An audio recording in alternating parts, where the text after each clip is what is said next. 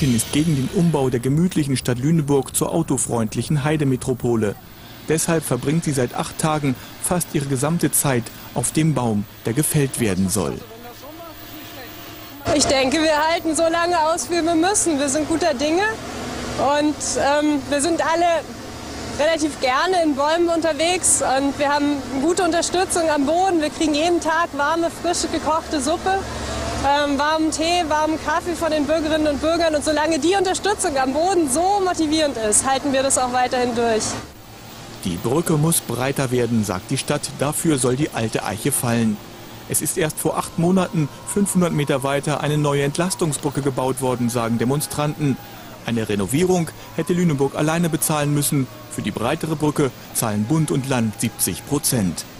Es geht um 200 Meter Verbreiterung dieser Brücke und der Rest bleibt, wie es war. Also das ist eigentlich völlig unnötig. Das ist ein Finanzspiel, was hier gespielt wird. Aus Sicherheitsgründen hatten die Besetzer den Baum im Orkan heute Nacht für zwei Stunden geräumt. Die Baumschützer und Stadtautobahngegner wollen noch wochenlang auf der alten Eiche ausharren. Die Stadt Lüneburg hat nicht damit gerechnet, dass die Demonstranten so ausdauernd sind. Ein Teil der ähm, Abholzung haben wir ja in der Woche schon vornehmen können. Ähm, wir schauen mal, wie lange jetzt äh, die Arbeiten sich noch hinziehen, wie lange wir noch brauchen. Sicherlich muss irgendwann die Eiche dann auch weggenommen werden. Die Aktivisten sind professionell organisiert. Zehn Baumkletterer wechseln sich schichtweise ab. Ständig sind zwei Demonstranten auf dem Baum. Es geht los bei Leuten, die vorbeilaufen und sagen, boah, super, ihr seid immer noch da, macht weiter so. Ähm, bis hin zu Leuten, die regelmäßig jeden Tag zur festen Uhrzeit kommen, Suppe vorbeibringen, uns mit Tee und Kaffee morgens begrüßen hier, wenn sie mit ihrem Hund spazieren gehen. Und ähm, das spendet uns unglaublich viel Kraft. Die Chancen, dass der Lüneburger Brückenbau noch gestoppt wird, sind gering. Aber die Sensibilität für den Naturschutz ist in der Stadt auf jeden Fall gestiegen.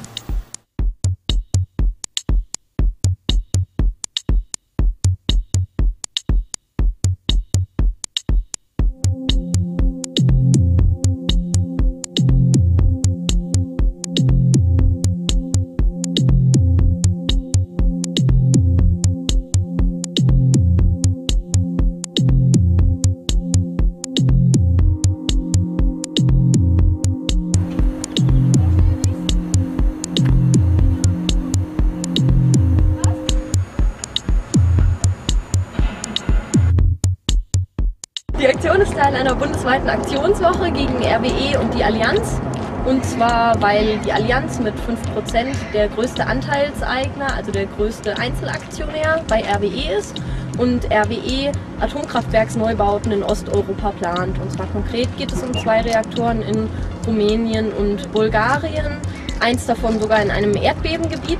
Und deswegen haben Ausgestrahlt und Urgewalt zu einer bundesweiten Aktionswoche eingeladen, an der wir uns gestern in Berlin schon beteiligt haben. Da haben wir auf Fässern getrommelt und sind Stelzen gelaufen, haben Kreide gemalt.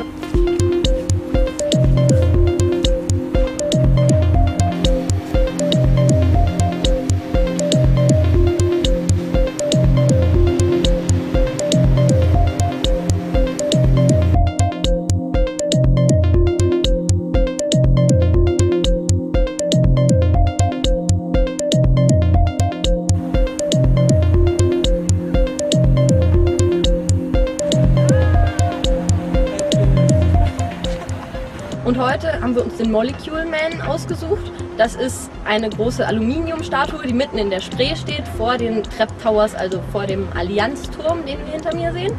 Und da sind Leute hochgeklettert an dieser 30 Meter hohen Statue und haben dieses transparent aufgehängt. Sieht man ja auch alles im Film.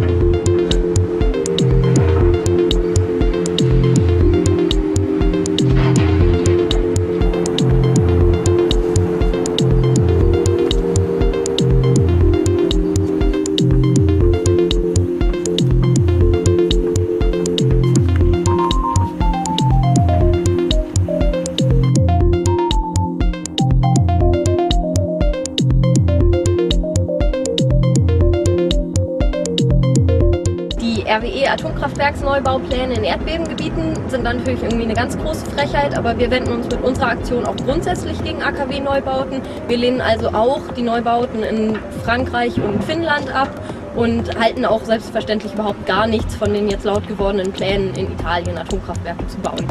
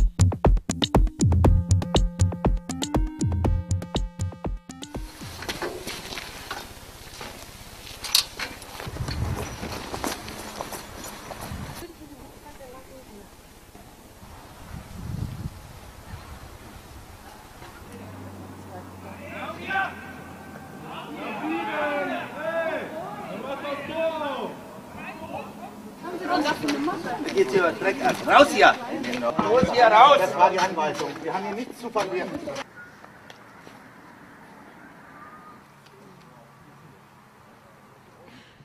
Wir sind heute hier am Erkundungsbergwerk in Gorleben. Heute Morgen trudelte eine Nachricht ein, dass sich zwei Aktivistinnen und zwei Aktivisten abgeseilt haben am Förderschacht. Die haben dort Transparente aufgehängt. Zum einen ist da ein großes Transparent mit einer Anti-Atom-Sonne mit Faust.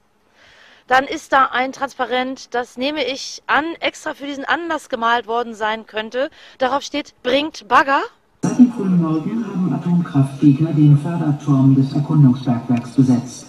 Sie haben Transparente ausgerollt.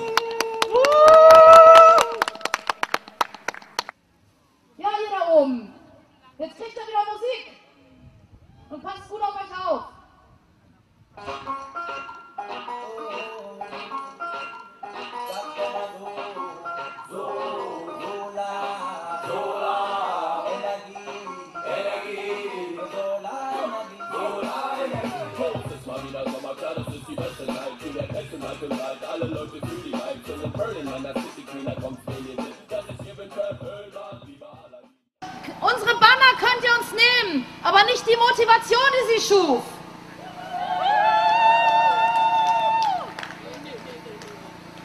Ja, es gibt von unserer Seite noch eine Frage, denn wir fordern ja nun schon seit 6 Uhr die Bagger. Bisher ist nur einer weggefahren worden, aber ich gehe davon aus, also spätestens in 14 Tagen werden wir die Bagger stehen und dann wird hier alles platt gemacht.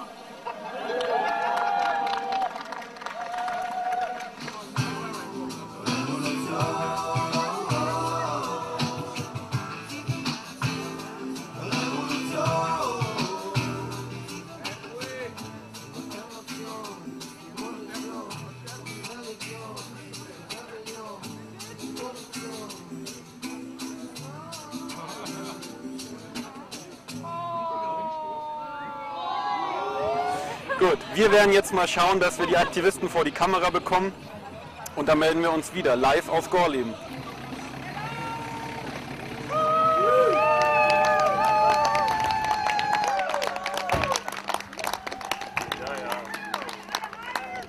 Ich habe gesagt, ich will keine Feier, ich will einen Kaffee.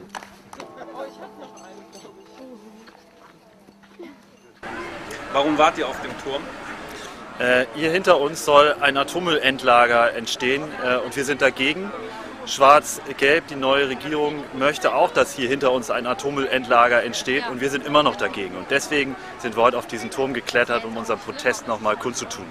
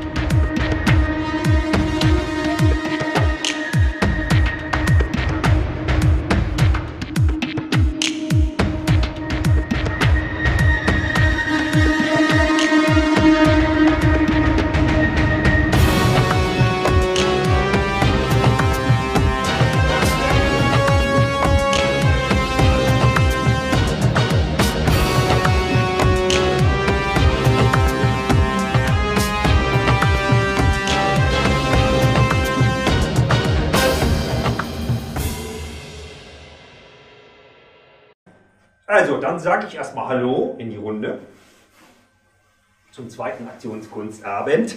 Also für alle, die mich noch nicht so ganz genau kennen, diese Idee der Aktionskunstabend ist ja so ein bisschen ha, euch mitzunehmen für die Idee kreativer Aktionen. Ich finde das Land hier ist einfach viel zu langweilig. Da könnte sich mal einiges ändern. Ähm, ich selber habe auch ganz normal angefangen. Ich bin jetzt im 39. Jahr Vollzeitaktivismus, also dass ich vor allen Dingen äh, politischen Widerstand mache. Ich habe mich nie dafür bezahlen lassen, lebe inzwischen sehr lange ohne Geld. Aber wenn ich so zurückdenke, war das immer ziemlich witzig, ähm, wie so am Anfang äh, die Sachlage war. Halt, ähm, da habe ich auch Nistkästen gebaut, äh, Wintervogelfütterung gemacht oder sowas, wo ich mal angefangen. 1978 war das, da gab es die Grünen noch gar nicht. Und dann ging das immer so weiter. Und ähm, irgendwann habe ich mal gemerkt, also dieses ganze, also es ging eigentlich schon ziemlich früh los, dass ich merkte, so diese ganze Erwachsenenwelt und diese Behördenwelt und so etwas, das sind alles Leute, die tun so, als wenn sie einen toll finden, wenn man sich da engagiert. Aber nach einiger Zeit stellst du fest, das ist alles nur Gelaber. Also ich war damals 14, mit anderen 14-Jährigen haben wir das dann aufgezogen. Und inzwischen sind halt 39 Jahre ins Land gegangen und ähm, ich bin immer noch auf diesem äh, Trip zu sagen, ich will kein Funktionär werden, ich will unabhängig sein, ich will jeden Tag neu entscheiden können, was ich will und ähm, neue Ideen entwickeln. Also manchmal sage ich ja zum Beispiel diese Projektwerkstatt äh, da in Reiskirchen-Saasen oder dieser Raum, das müssen Erfinderwerkstätten sein. Also es geht nicht darum, das bewährte, langweilige ähm, einfach immer wieder so anzuwenden, sondern wir, dass wir Dinge erfinden, neue Ideen entwickeln, um in dieser Gesellschaft irgendetwas äh, zu verändern. Und auch nicht so eine Begleitfolklore des Unabwendbaren zu sein. Also im Großen wird alles kaputt gemacht und im Kleinen dürfen wir dem Ganzen eine kleine Blume noch so verpassen, sondern dass wir auch daran gehen, wo es denen ein bisschen wehtut. Naja, ich will gar nicht selber über mich so viel reden, sondern einsteigen, aber ich lasse erstmal noch die Experten ein bisschen was über mich erzählen. Irgendwann mal, ich glaube, es war Wahlkampf 2009, gab es einen Wahlkampf, kann sein, egal, hat Spiegel TV ein paar Interviews gemacht. Ich glaube, es waren 40 Leute, haben sie gesucht in Deutschland, die was dazu sagen sollten, wie die zur Wahl stehen. Und aus irgendwie unerfindlichen Gründen haben die mich auch interviewt. Was ich von der Wahl halte. Das kann man vielleicht mal so als kleine biografische den Leckerbissen dann mal als nächstes bringen. Also wir haben halt hier Weihnachtsbaumkugeln aus Keramik, die lassen sich öffnen, füllen, hervorragend werfen, gehen gut kaputt. Ja, ich bin Jörg, 45 Jahre alt inzwischen und ansonsten glaube ich eher so in wenig Kategorien zu stecken. Irgendein Gericht hat meinen Beruf mal als berufsrevolutionär festgelegt. Und ähm, ansonsten legen die meistens sehr wenig fest, weil man über mich, und das ist mir auch wichtig, nicht viel festlegen kann. Ich möchte eigentlich jeden Tag neu tun können, was ich will. Im Dorf Reiskirchen in der hessischen Provinz liegt die sogenannte Projektwerkstatt. Hier hat Jörg Bergstedt seine Basis. Sonst ist er als Protestler gegen Staat und Konzerne in ganz Deutschland unterwegs. Die Aktionen verschaffen ihm ständigen Kontakt mit der Rechtspflege. Wir haben viel Gerichtspost, das, äh, die wollen sich ja unbedingt mit uns anlegen. Es gibt viele, die uns lieber hinter Gitter sehen. Ich komme so im Allgemeinen weiterhin ganz gut durchs Leben, weil ich nicht abhängig bin von irgendwelchen wirtschaftlichen Leistungsfähigkeiten dieses Landes oder ob das Land überhaupt existiert, weil ich ähm, aus den Resten lebe, die dieses seltsame Land produziert. Das produziert sehr viele Reste, damit ähm, irgendwelche Leute möglichst viel Geld im Laden zahlen müssen, ähm, wird ganz viel weggeschmissen. Das hole ich mir halt und ähm, deswegen bin ich erstmal nicht abhängig von dem, was da passiert. Also selbst auch in Zeiten der sogenannten Wirtschaftskrise. Es reicht immer finanziell, wenn man kein Geld braucht, reicht es immer das sind Dinge, die weggeschmissen werden in dieser Gesellschaft. Es wird einfach so unendlich viel weggeschmissen. Ständig und immer, also sie geht mir auf den Keks, dass da irgendwelche Leute herkommen und meinen, auch noch in meinem Namen, dafür sind ja vor allen Dingen Wahlen da, damit man hinterher sagen kann, es ist im Namen aller jetzt diese Regierung wieder daran gekommen, die meinen, das Leben von Menschen organisieren zu können. Es ist durch Regelungen, Recht, Gesetze, ähm, irgendwelche Überwachungstruppen, alles genau durchorganisiert. Ähm, wenn man sich daran nicht hält, dann wird man vor Gericht gestellt. Das ist eine Riesenmaschinerie, die greift in das Leben von Menschen an. Ich glaube, dass die Menschen diese Maschinerie nicht brauchen, dass die Maschinerie auch vielfach die ist, die die Probleme, die sie vorgibt zu lösen, erst selbst schafft. Das sind äh, Fotos von ähm, Aktionen zu verschiedenen Wahlen. Sehe ich hier gerade Europawahl 2004. Verschwimmen. Wieso? Weil ich glaube, dass Menschen, ohne dass sich andere einmischen und ständig meinen, dass sie besser wissen, wie Menschen miteinander umgehen, dass die Menschen das selber besser hinkriegen könnten. Das heißt, wir brauchen keine Metaebene, keine Stellvertreter, die, und die irgendwo bekannt geben, was Deutschland, was auch immer das sein soll für ein komisches Konstrukt, zu sagen hat, die im Namen des Volkes reden. Das ist ja sowieso alles gelogen. Ich glaube, dass wir eine viel interessantere Welt hätten, wenn die einfach alle verschwinden würden, die da meinen, äh, besser zu wissen, wie wir zu leben haben.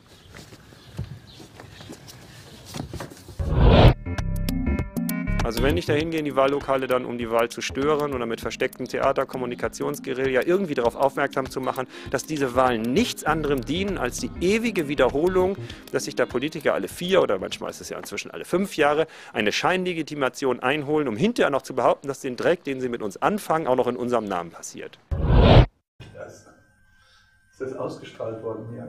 Das war im Internet, also die haben eine Internetgeschichte ähm, und ähm, da heißt das halt zu sehen gewesen. So, äh, wie beim letzten Mal fange ich an mit der Anekdote des Tages. Dieses Mal will ich einen Bericht, ich weiß gar nicht, ob hier irgendjemand ist, der oder die auch da war. Ich habe vor ein wenigen Wochen etwas getan, was ich schon lange nicht mehr getan habe. Ich bin zu einem Treffen hingegangen der Stadt Gießen und des Landkreises Gießen. Also das mache ich sonst nicht. Also mal abgesehen davon, dass ich da selten hinkomme, äh, weil die mich auch nicht haben wollen.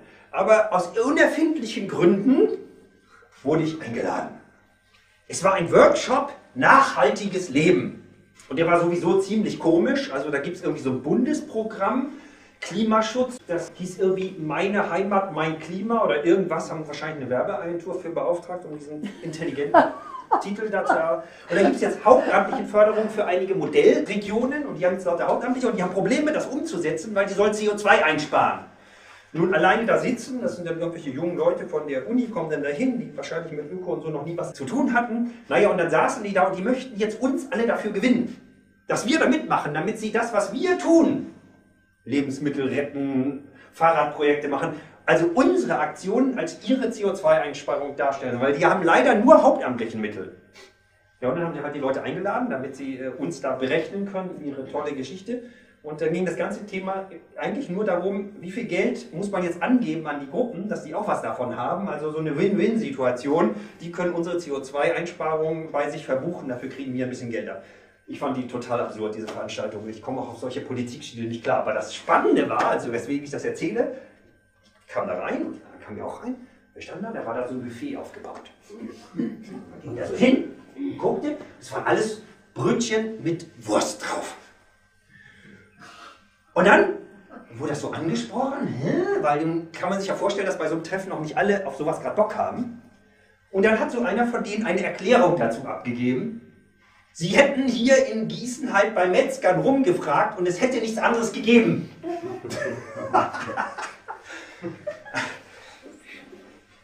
Kennt ihr euch ein bisschen aus? Gibt es da andere Läden als Metzger?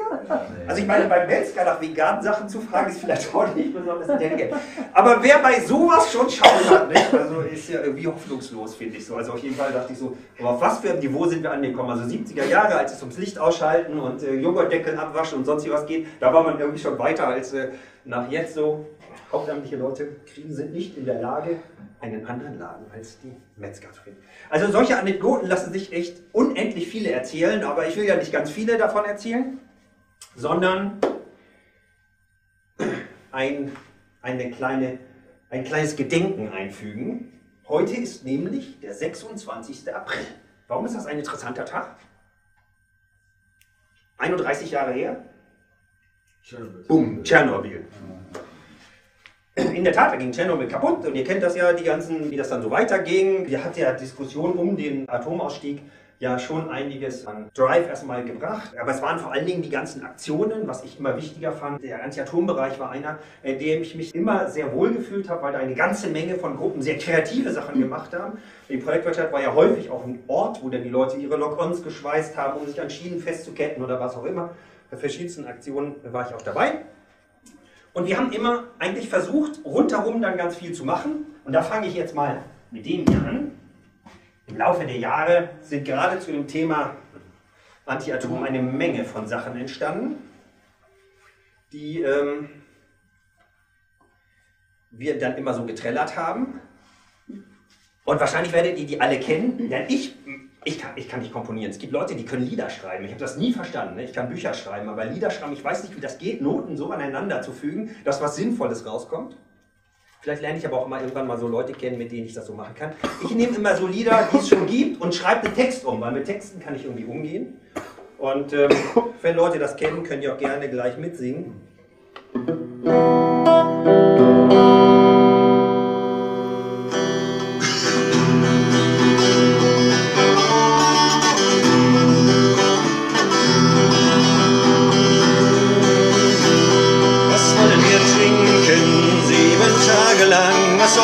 Trinken? Wir haben Durst.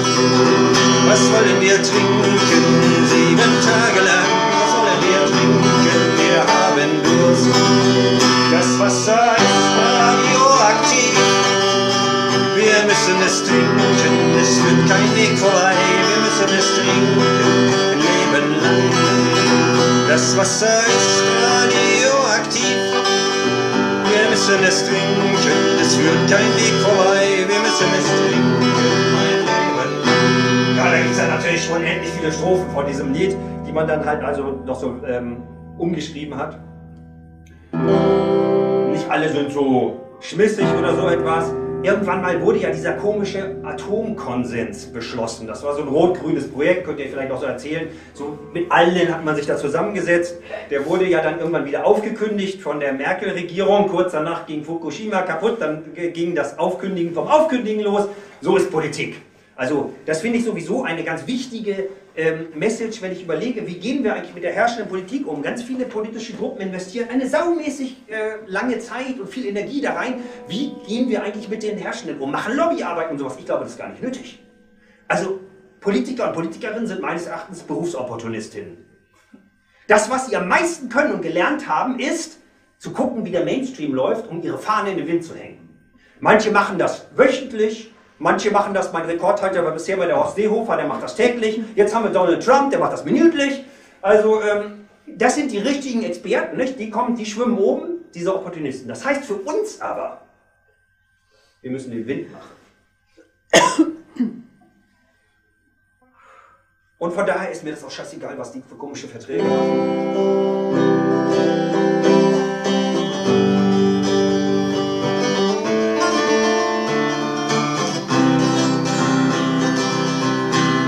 Verträge sind gemacht, haben Profit und Macht gebracht. Verwertet sind Mensch und Natur. Freiheit, Freiheit gilt für Großkonzerne nur. Freiheit,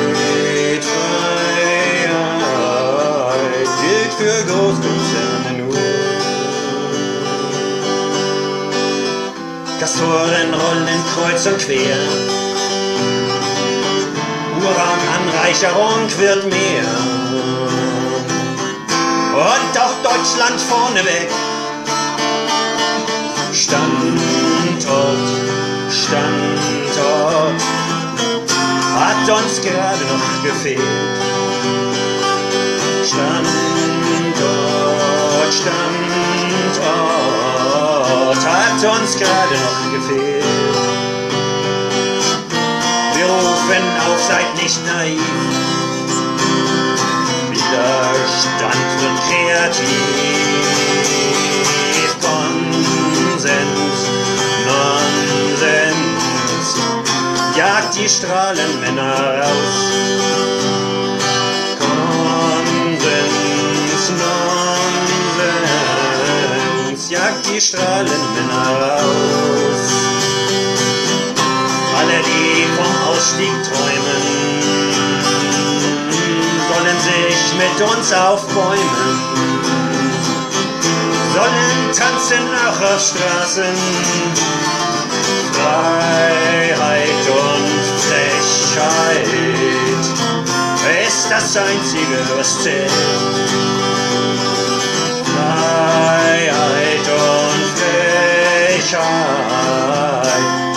uns lang genug gefehlt.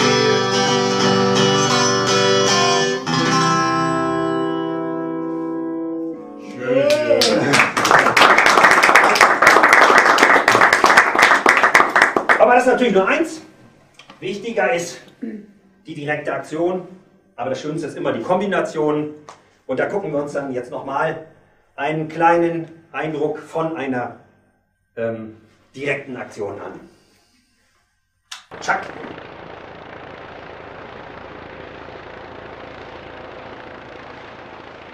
Es wurden sieben Personen angetroffen, die sich in Gleisnähe hier aufhielten.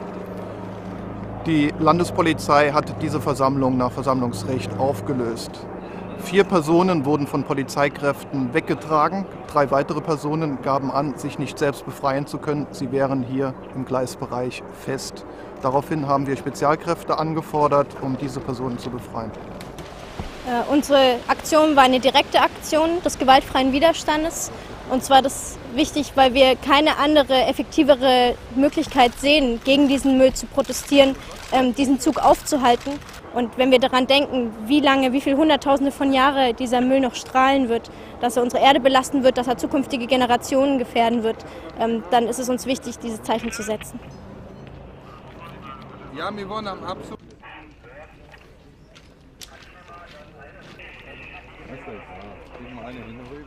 Ich war Unterstützerin von den Begleitpersonen. Ich wollte vor Ort bleiben, um für Kommunikation zwischen Polizei und Angeketteten zu sorgen, um die Angeketteten zu versorgen mit Nahrung, mit Getränken, dass es ihnen gut geht. Das ist total wichtig, auch als psychologische Unterstützung. Und das wurde uns nicht erstattet. Ähm, uns wurde ein Platzverweis ausgesprochen, wir sind weggezerrt worden, wir sind weggeschleift worden und haben davon blaue Flecken erhalten. Ähm, wir sind in ISO-Haft gebracht bis zu neun Stunden und ähm, sind dann erst wieder rausgekommen.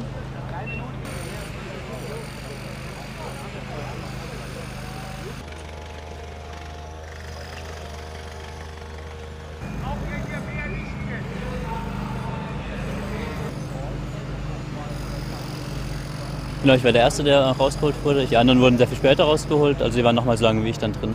Ich hatte eigentlich so mit vier, fünf Stunden gerechnet vielleicht. Ähm, ja, finde es total krass, dass es wirklich 13 Stunden sind. Ähm, aber also ich bin gerade noch zu müde, um mich wirklich drüber zu freuen, aber werde mich riesig drüber freuen, glaube ich.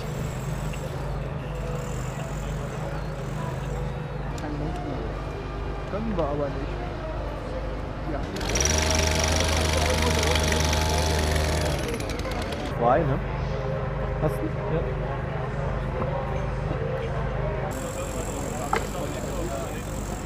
Die konnten es gar nicht, gar nicht richtig glauben, dass da jemand liegt und haben erst gedacht, wir haben uns mit Schnüren irgendwie festgekettet, wie wir gesagt haben, dass wir fest sind, bis es dann irgendwie klar war und dann haben sie auch das Spezialkommando geholt. Und die am Anfang, die waren halt nicht brutal, aber sie haben uns halt die persönlichen Kontaktpersonen weggenommen. Mit den Fachkräften war es angenehmer, weil die einfach nicht so in dieser Polizeistruktur, also nicht so typisch arbeiten, wie man es sonst so kennt. Das hat man schon an der ihrer Arbeitsweise gemerkt und die waren auch, also waren dann auch Sanitäter, die mich ganz gut behandelt haben. Ich wusste ja gar nicht, wie der Block gebaut ist und ich hätte gedacht, naja, ähm, so ein Block kann man ja schon irgendwie wegmeißeln. Also ich glaube, es ist größtenteils dem Block zu verdanken, dass wir so lange da drin geblieben sind.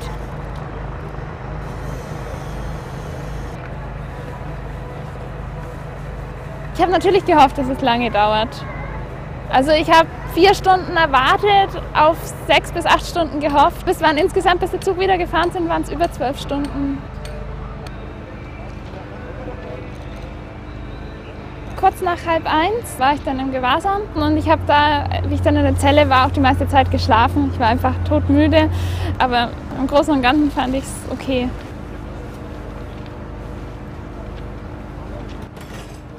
Das ist eine riskante Aktion und wir waren auch gut darauf vorbereitet.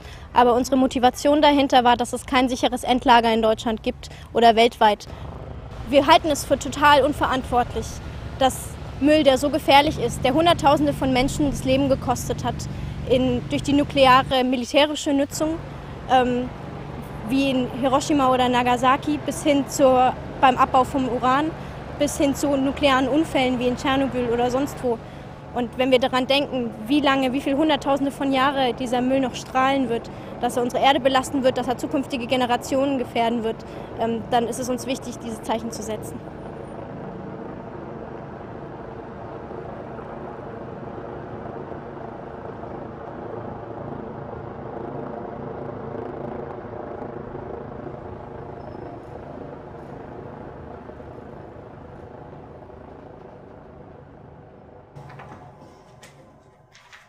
Also, mit diesen Betonblöcken, ne?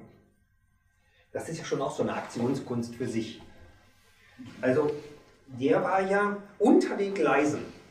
Das heißt, unabhängig von der Aktion müssen viel früher Menschen dieses Gleisbett irgendwann mal beseitigt haben, einen Betonblock da eingefügt haben, mit Röhren von oben. Es gibt so eine wunderschöne Ausstellung, auch da ist, gibt es so Modelle von solchen Betonblöcken, die reißt so rum seit einigen Jahren.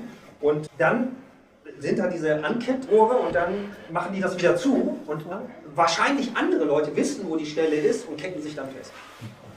Mit, ob das jetzt stimmt oder nicht stimmt, dass die mit dem Bau nichts zu tun haben, das spielt ja jetzt gar keine Rolle. Aber jedenfalls hat es sowas schon mehrfach gegeben. Nicht immer ist das ja möglich, das vorher zu bauen. Auch das ist eine Kunst für sich. Denn wie bei fast allen Sachen ähm, lohnt es sich einfach, jede Aktion, die ich mache, nochmal dahin zu überlegen, ob die nicht, wenn sie als solches schon mal kreativ und gut vermittelt ist, ob die nicht noch mal ein bisschen besser geht. Ne? Also mein Lieblingsbeispiel, sage ich gerne auch nochmal, ähm, ist immer, diese, ist immer das Tortenattentat. Das kennen einige schon so als Story, aber das, äh, an dem mache ich das immer wieder deutlich. Es gibt ja Leute, die kaufen sich dann so eine Sahnetorte und wenn sie irgendjemanden dann halt einen, äh, den nicht mögen, dann knallen die dem so ein Ding ins Gesicht. Ne? Vielleicht kennt ihr diese Bilder.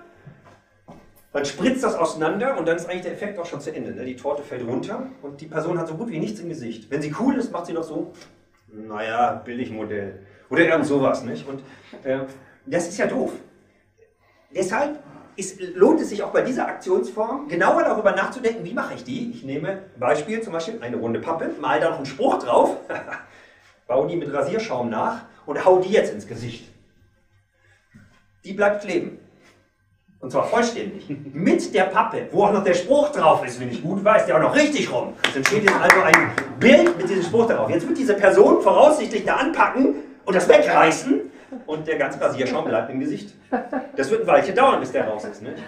Vorteil ist auch noch, Körperverletzungsvorwurf ist da unwahrscheinlicher bei Sahne, denn Rasierschaum ist fürs Gesicht gemacht. Also das lohnt sich einfach. Ne? Also warum denn, wenn man schon, also ist das Schwierigste am Tortenattentat ist da ranzukommen und der Beatrix von Storch und wer alles solche Torten schon abgekriegt hat, Bill Gates, und kennt, kennt wahrscheinlich alle diese Bilder oder viele. Das Schwierigste ist da ja hinzukommen. Und dann den Moment zu versauen, in dem eigentlich gar nichts kleben bleibt. Ja, so. So ist es bei den Betonblöcken auch. Da gab es zum Beispiel auch diese Betonblöcke, die man irgendwo hingeschafft hat, um was zu blockieren. Also hier in Gießen konnte der Mensch das ja auch mal ein Jahr lang, äh, drei Wochen bewundern. Bei der Besetzung des Gengerstefeldes 2008 stand in der Mitte nicht nur ein Turm, wo sich oben Leute festgekettet haben, sondern unten auch ein Betonblock. Das wurde häufiger gemacht. Allein das war schon eine Kunst. Die Fläche war bewacht. Und nachts auf dieser Fläche einen Turm aufzubauen und einen Betonblock hinzukriegen, der eine Tonne wiegt, ist gar nicht so einfach. Das war richtig so, also am ehesten vergleichbar mit dem Pyramidenbau. In also wir hatten zwei so Elemente gebaut, so aus zwei Meter langen Holzbohlen, mehrere übereinander, so breit. In der Mitte eine Führungsleiste und dann hatten wir so einen Hubwagen, ich glaube Ameise oder Hund oder so hätte ich manchmal genannt. Und die haben vorne so zwei Räder mit etwas Abstand. Und die fuhr den anderen auf der Führung. Und wir hatten zwei von den Dingern mit so Nut und Feder und fetten Bolzen da drin und so Ratschengurten. Und dann haben wir die aneinander gemacht. Dann ist der weit entfernt, ein Traktor-Frontlader hat diesen da drauf gehoben und dann ging es los. Vier Stunden lang hat das gedauert. Mit dem Wagen über die beiden hinweg, Ratschengurte lösen. Und das haben wir natürlich tausendmal auf Biohöfen oder sowas geübt, bei matschigem Wetter oder sonst was. Das nach vorne tragen, andocken, wieder zwei Meter weiterfahren. Das hintere, so war das vier Stunden lang und dann waren wir auf der Mitte von der Fläche. So, und jetzt ist das Problem aber, die Polizei denkt ja mit und überlegt sich, wie kriegt man uns da runter. Also früher sind sie dann immer mit ihrer Hilti da rangegangen oder was auch immer. Ich will hier keine Schleichwerbung machen. Und da hat es auch die witzigsten Sachen schon gegeben. Mein Traum ist ja immer, dass so ein, so ein Pappkarton dann mal mit so einem Teufelchen auf einer Feder oder sowas. Aber was es schon mal gegeben hat, war bei irgendeiner Genfeldbesetzung, in Dreileben war das, glaube ich, müsste Sachsen-Anhalt sein, Feld von der KWS. Und da hatten die eine Bauschaumdose mit eingebaut und da sind die da drauf getroffen, da mussten erstmal die gesamte Einheit wechseln, weil die gesamte Uniform komplett versaut hat. Also es gibt auch da, dann, du schnibbelst auf jeden Fall kleine Gummiteile da rein, also Reifen werden, also wir sind ewig am Sägen von Reifen, weil dadurch vibriert das Ganze und du kommst mit deinem Presslufthammer nicht rein. Das ist einfach unendliche Kunst und dann liest du Bücher darüber, wie du Beton aushärtest und so, also absurd, was da so abgeht. Dann haben die sich irgendwann überlegt, also Pyramide natürlich, dass der nicht einfach gegriffen werden kann, dann bohren die immer oben so, eine, so ein Loch durch und haben da einfach eine Schlaufe gelegt und haben dann angefangen, das Ding mit so einem Spezial, so ganz sau daran, der wirklich millimetergenau arbeitet, das Ding angehoben um zwei Zentimeter. Und dann sind immer so ein paar Uniformierte gekommen, haben uns, die wir da drin hingen, ange, mit angehoben, haben das Ganze zur Seite geschafft, auf den Bürgersteig gestellt und gesagt, viel Spaß noch.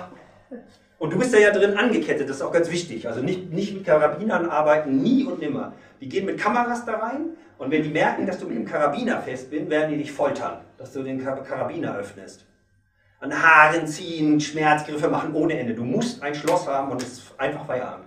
Die müssen sehen, du kannst da nicht mehr raus, sonst foltern die dich. So, also dachten wir, hm, das ist natürlich eine doofe Sache. Also jetzt sitzen wir immer festgekettet in unserem Betonblock und gucken den Mist dazu. Das geht natürlich weit. Also entwickeln wir den Doppelblock. Den gibt es inzwischen auch in zwei Varianten. Hier auf dem Gengerstenfeld war es so, wir buddeln zunächst ein Loch in die Erde und versenken einen Block schütten es wieder zu, der ist an einer Kette und der Block, der dann oben drauf kommt, die Pyramide, hat von unten ein kleines Loch und diese Kette wird dann da reingefädelt. Also vorher machst du ein Band von oben durch, wo du nachher den Arm reinsteckst. Und du machst dich jetzt gar nicht an dem oberen Block fest, sondern an dem darunter. Durch den oberen an dem darunter. So da, dass sie den oberen nicht anheben können, sonst wirst du da so durchgezogen. Das heißt, sie müssen mit ihrem Spezialkran kommen, den anheben zwei Zentimeter. Dann müssen Sie mit dem Bagger kommen, ein riesiges Loch in das Ganze graben, um an den unteren ranzukommen. Und äh, dann kriegen Sie dich los. So. Die bäuerliche Notgemeinschaft im Wendland hat beim Castor das mal auf eine Schiene gestellt und da hatten die wiederum eine weitere Variante vom Doppelblock, nämlich sie haben eine, so wie so eine russische Puppe, zwei Pyramiden ineinander gebaut und sich dann durch die obere in der unteren, sodass sie auseinander. Das war mal allerdings eine kritische Situation. Die ähm, Polizei wollte von unten dran und hat dann das, die Gleise unterhöhlt. Und der Betonblock war so schwer, dass die Gleise nachgaben. Und dann die beiden gegeneinander verrutscht, zu verrutschen begannen. Und dann haben sie ganz lange verhandelt, was jetzt passiert, weil die Leute, die da drin waren, natürlich aus verständlichen Gründen da jetzt raus wollten. Weil jederzeit kann der weiter absacken und dann ist der Arm halt durch. Ne? Das war ganz witzig, was sie, auf was sie sich dann geeinigt hatten, was für eine Presseinfo nach außen geht und sonst wie was. Also sie hatten immer noch Verhandlungspotenzial. es wurde dann irgendwie verhandelt, dass die Polizei bekannt gibt, dass sie nicht in der Lage war, das zu räumen und deshalb das jetzt freiwillig aufgegeben So, also so hatten dann jede, alle so ihre Niederlagen. Also das ist richtig Kunst. Also in allen diesen Dingen steckt Kunst. Und zum Abschluss des Antiatom-Blocks nochmal ein drittes Lied. Das ist ein äh, Lied, was Mensch vielleicht erwartet, was naheliegend ist umzuschreiben. Ich werde das auch nur anspielen, weil ich musste ja nicht, es geht ja mehr um den Gag.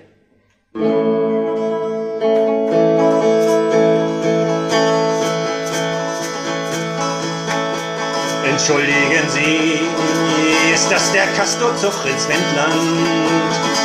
Ich setz mich eben dahin, denn Widerstand macht hier Sinn. Ich muss noch erklären, dass alle Oberindianer nur Herrschaft ausüben wollen, damit die Kastoren wollen. Ich hab nen Fläschchen Buttersäure mit, die riecht lecker, die kippt mich gleich ins Führerhaus, trotz allem Gemecker. Und ich rufe, ey Leute, macht Widerstand hier heute, der strahlende Last, ne Blockade verpasst. All die ganzen Polygrafen wollen erzwingen, die freie Fahrt, der ganze Schrott nach Gorleben bringen. Nur der freche Widerstand überall im ganzen Land, der malt das Licht und macht die Strecken dicht. So, so geht das auch weiter durch die Strophen. Nicht alle die sich mit Widerstand gegen das herrschende System beschäftigen, wollen allerdings eine emanzipatorische Wende, also irgendetwas Befreiendes, was Umwelt und Menschen befreit von der Last von staatlicher Herrschaft, kapitalistischer Ausbeutung und so weiter. Und das habe ich beim letzten Mal auch schon gemacht und habe ich mir eigentlich auch immer vorgenommen, eine als ein Teil die bekloppteste Theorie des Monats hier mal. Also irgendeine greife ich heraus die ich für vollkommen unmöglich halte, was da Menschen tatsächlich als politischen Protest einbringen. Es gibt Protestbewegungen, die richten sich gegen die Gleichberechtigung von Männern und Frauen oder von allem, was dazwischen und jenseits dessen ist. die haben einen Kampfbegriff, der nennt sich Genderismus. Und ihr könnt, wenn ihr mal in Bahnhofsbuchhandlung ein bisschen Zeit habt, könnt ihr euch da die passenden Zeitschriften durchlesen, die da kompakt, eigentümlich frei und so weiter heißen, die also massenweise diesen Krempel da so von sich geben. Und ich wollte mal einfach so ein paar Sachen ähm, aus der Szene vermelden. Das sind durchaus Szenen, die Schnittmengen haben mit anderem politischen Protest. Also diese Leute findest du schon auch auf Landwirtschaftsdemos, Anti-Atom-Demos oder so, da gibt es halt Schnittmengen.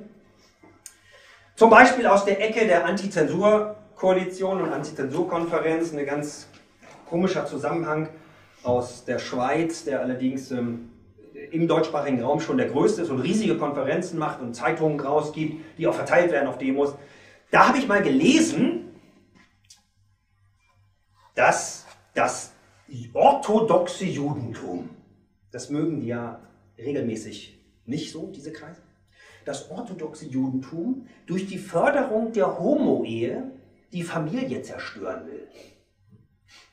Das fand ich einen interessanten gedanklichen Dreh. Also die, orthodoxe Judentum arbeitet also daran, die Homo-Ehe zu fördern.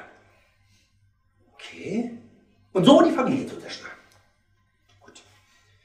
Ähm, wobei interessant ist, dass das zum Beispiel, dass, da lohnt es sich ja immer ein bisschen zu differenzieren, keine rechte Position ist im Sinne, dass sie aus einer rechtsradikalen Logik kommt, sondern das ist eine christlich-fundamentalistische Gruppe, die das äh, macht. Die gibt es auch so, nicht? also die Gedankenwelten, so, die sind zum Glück nicht bewaffnet, sonst äh, würde das Christentum sicherlich auch noch weiterhin das machen, was es in seiner Geschichte, ich meine, es ist immer die Religion ganz klar mit der bisher größten Opferzahl. So, dann habe ich da auch noch gelesen, dass die CIA vor 50 Jahren den Feminismus in Gang gebracht hat. Und sowas arbeiten die also. Oder in einer Schrift auch aus diesen Kreisen las ich meine besorgte Schlussfolgerung. Wenn wir uns irren und die Bibel, wie Jesus es sagte, dennoch Gottes heiliges, zeitloses und vollkommenes Wort ist, dann wird das ungestrafte Tolerieren von Unzucht, Homosexualität, Sodomie und dergleichen, unseren Völkern letztlich mehr Schaden zufügen als jede Form des sogenannten gefürchteten Terrorismus.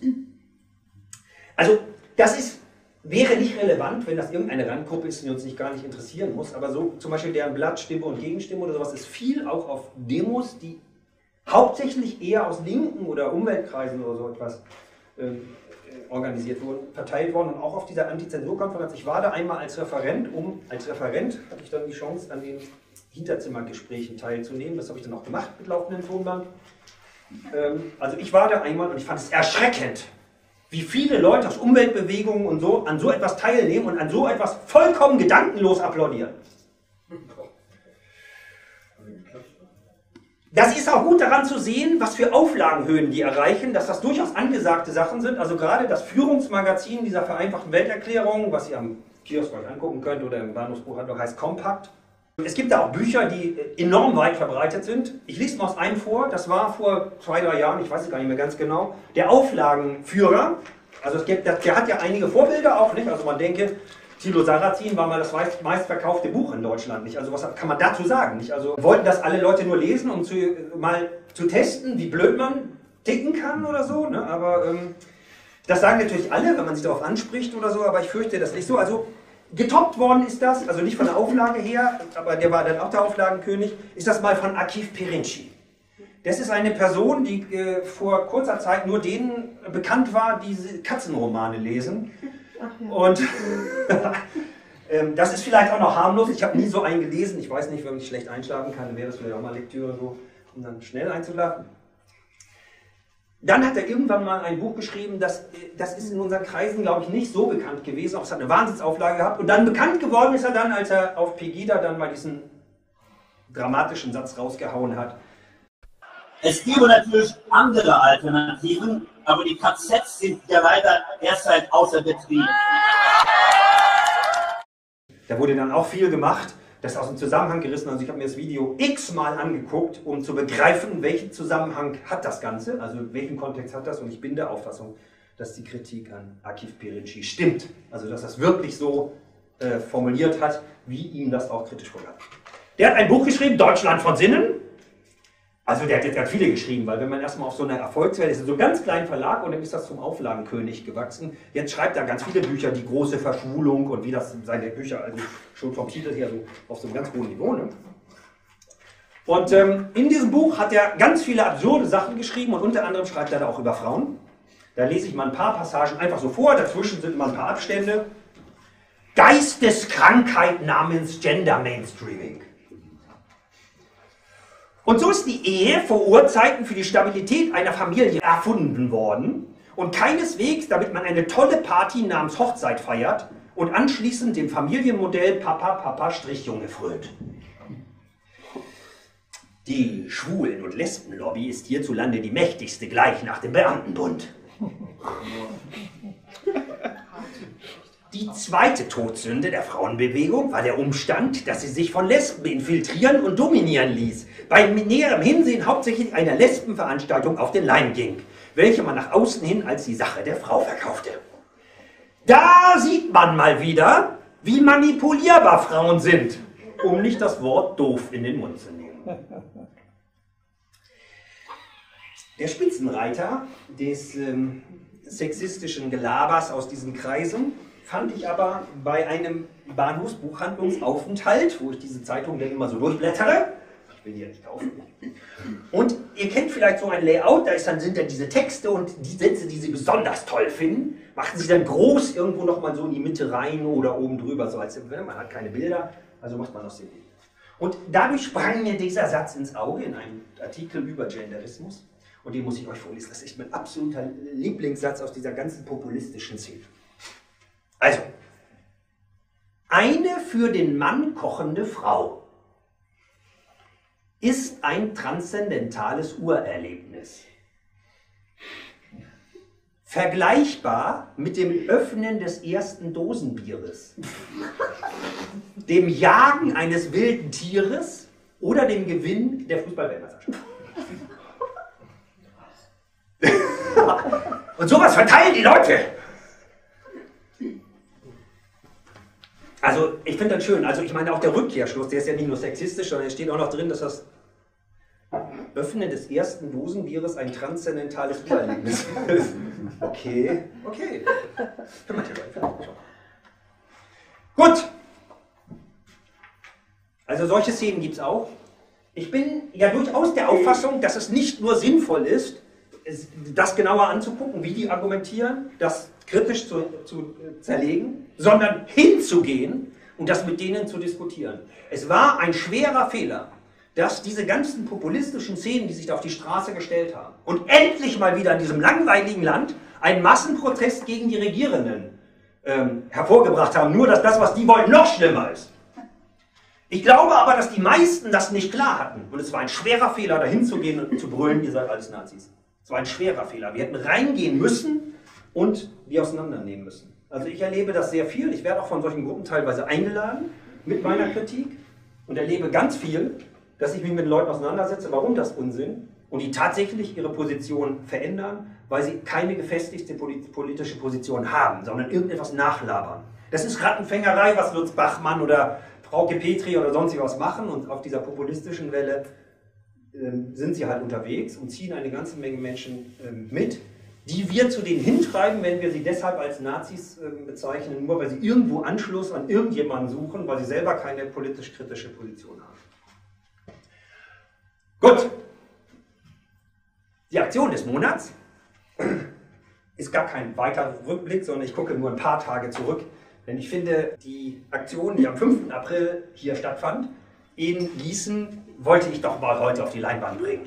Wahrscheinlich waren einige dabei, weil ich fand das schon einen schönen Aufschlag für eine Kultur einer offensiven Aktion, die noch an vielen Stellen ausbaubar ist, aber die auch bereits beim ersten Mal sehr, sehr viele unterschiedliche Gruppen zusammengebracht hat. Und das finde ich eine Qualität, an der wir weiterschrauben sollen. Also ich meine, den Umsonstzug vom 5. April, der ja am 3. Mai folgt ja der zweite und hoffentlich mit noch mehr Leuten und noch mehr Ideen auch, die daran gekoppelt sind.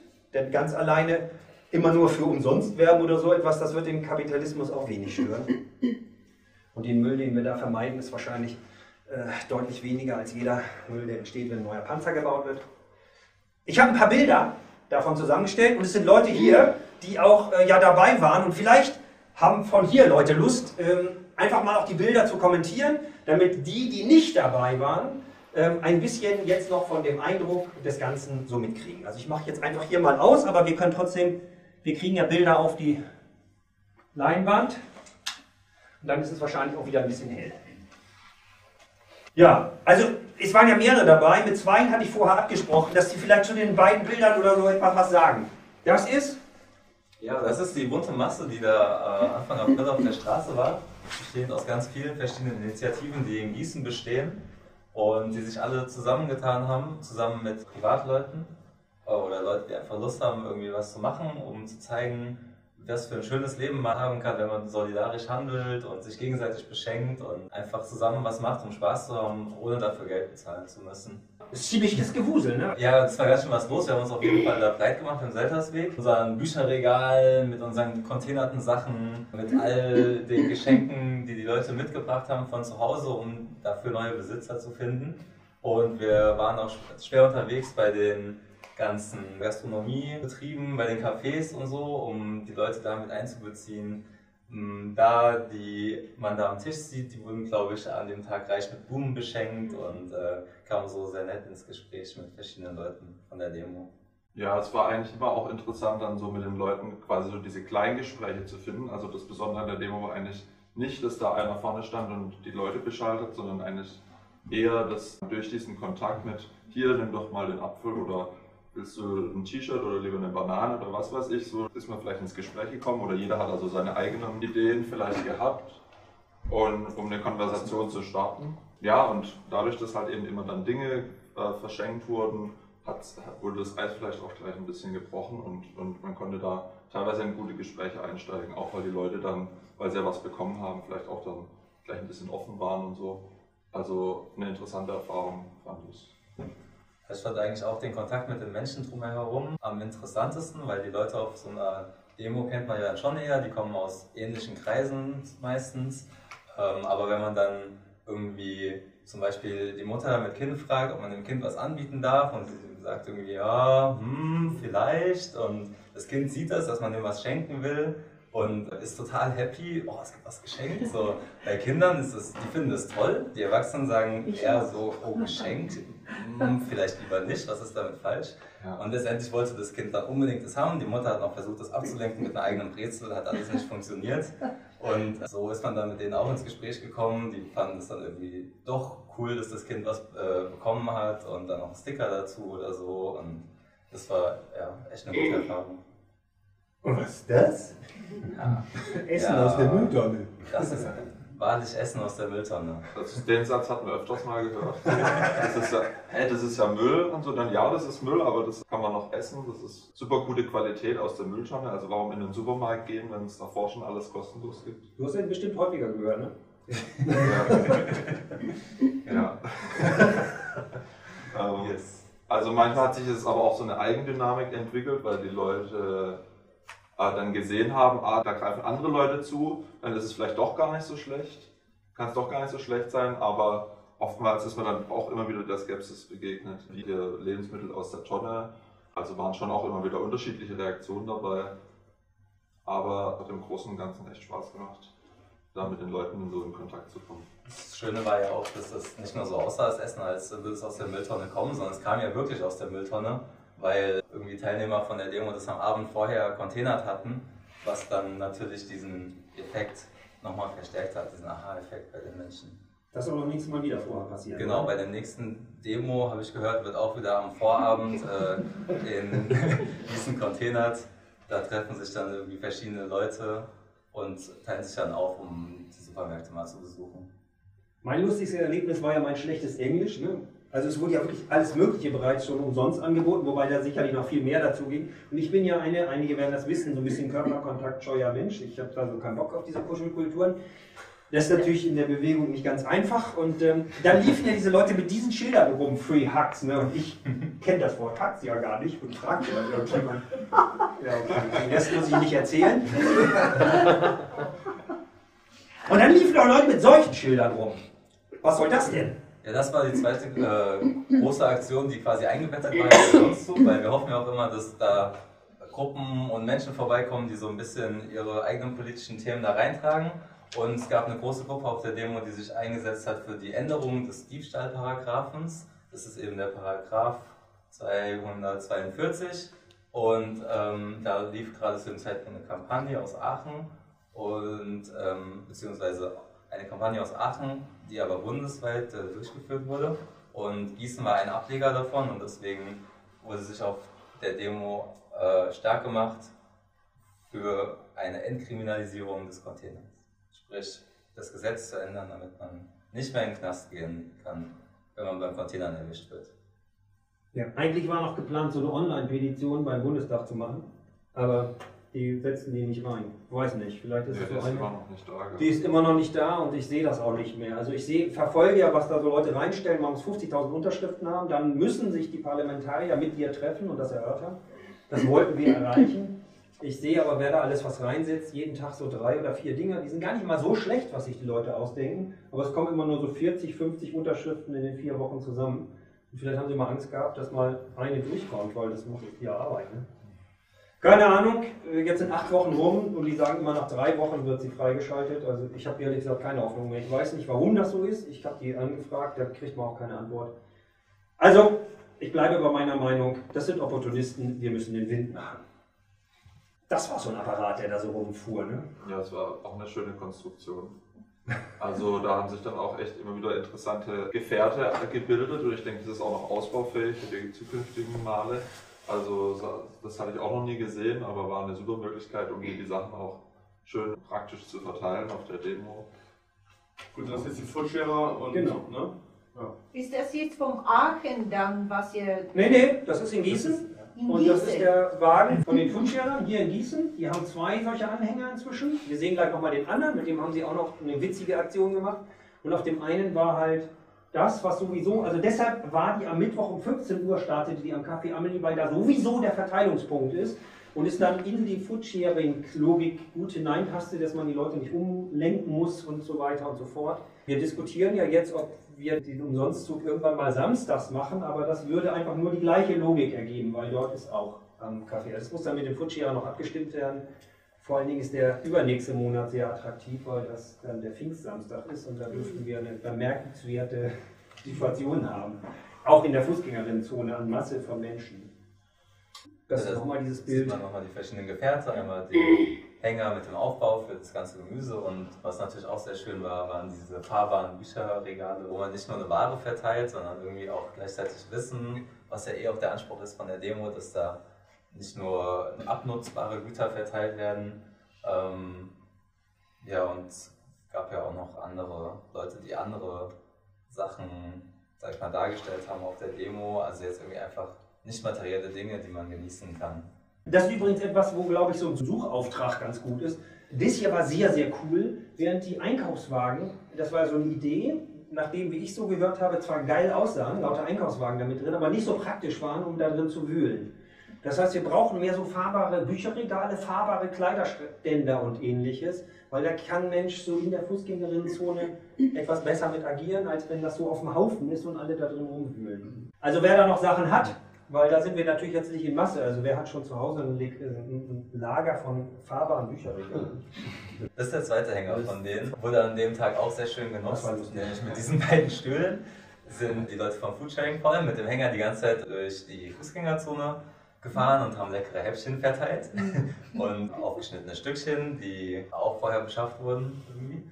Und ja, ich denke, das kam einfach super an, weil da saßen immer zwei Leute drauf, die super glücklich aussehen und Naja. leckere Sachen dabei hatten. Und ich glaube, hätte ich die beiden noch dabei gehabt, als ich versucht habe, dem kleinen Kind da das trockene Brot anzudrehen, dann hätten vielleicht die, die Mutter und ihre Freundin auch noch was davon genommen. Das sind einfach jetzt auch so Eindrücke. Ich finde ja, dass auch ruhig noch so ein paar mehr politische Botschaften rüberkommen können. Nicht? Also so mit Kreide auf dem Boden malen, solche Schilder oder so etwas dabei haben. Genau, also wir hoffen natürlich auch fürs nächste Mal, dass Leute ja, ihre Meinung da auch kundtun und das nicht nur irgendwie eine große Party ist, wo wir uns gegenseitig beschenken, weil Für meinen Teil zum Beispiel mache ich da auch mit, weil ich einfach keine Lust habe, mir irgendwie den Rest meines Lebens einen abzuarbeiten, meine Gesundheit zu gefährden, irgendwas zu machen, worauf ich gar keine Lust habe, um in einem System irgendwas zu produzieren, was eigentlich gar niemand benötigt und was ja völlig an unseren Bedürfnissen vorbeigeht. Und deswegen finde ich es wichtig, dass wir nicht nur irgendwie da die Reste und Überschüsse unseres Systems verschenken, sondern auch ganz klare Statements abgeben. Mit dabei gab es natürlich auch, auch da sind noch weitere Ideen, kenne ich schon, was doch so gemacht wird, weil man kann ja nicht nur materielle Dinge verschenken, sondern auch immaterielle. Es haben irgendwelche Leute versucht, Musik zu machen. Manches war wirklich sogar war auch wirklich gar nicht so schlecht. Und das natürlich was Schickes, das oder Tanzen oder Englischkurs. Also es gibt ja ganz vieles, nicht, was wir oder einfach irgendwas mitnehmen und Leuten zeigen, wie man Lichtschalter repariert oder sowas in den drei, vier Stunden. Also es gibt so vieles, was Menschen halt quasi so verbinden können. Ja, damit ihr das Ganze nicht vergesst, bis äh, zum 3. Mai habe ich natürlich noch mal Flyer mitgebracht. Äh, wie gesagt, 3. Mai, 15 Uhr geht es wieder am Café Amelie los. Und wir ziehen einmal durch die komplette Innenstadt bis zum Elefantenklo und vielleicht auch wieder zurück. Und ich würde mich natürlich freuen, euch alle zu sehen oder euch alle wiederzusehen.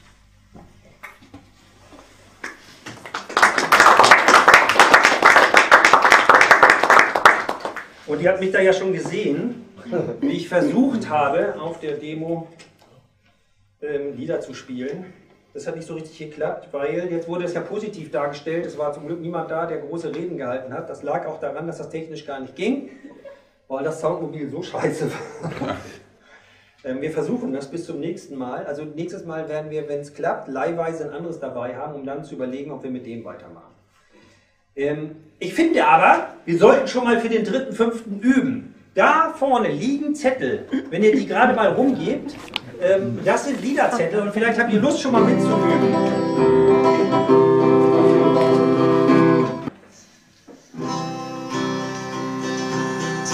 Drei macht vier, wieder, wieder, und zwei macht neune. Ich zähl nie mein Geld, wieder, wieder, weil's mir nicht gefällt.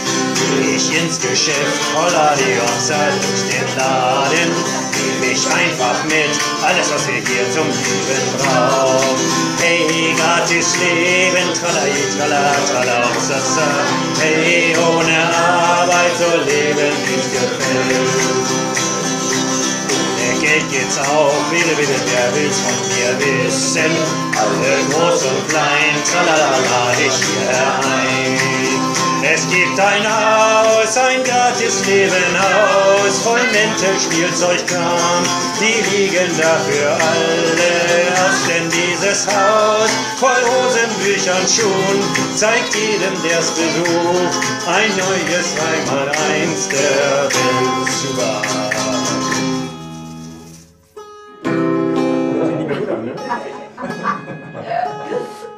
Das ist ja was. Die ist irgendwo fest ausgesprochen. Die ist irgendwo festgeklemmt. Ja. Da ist ein Hintergrund. Jetzt habe ich.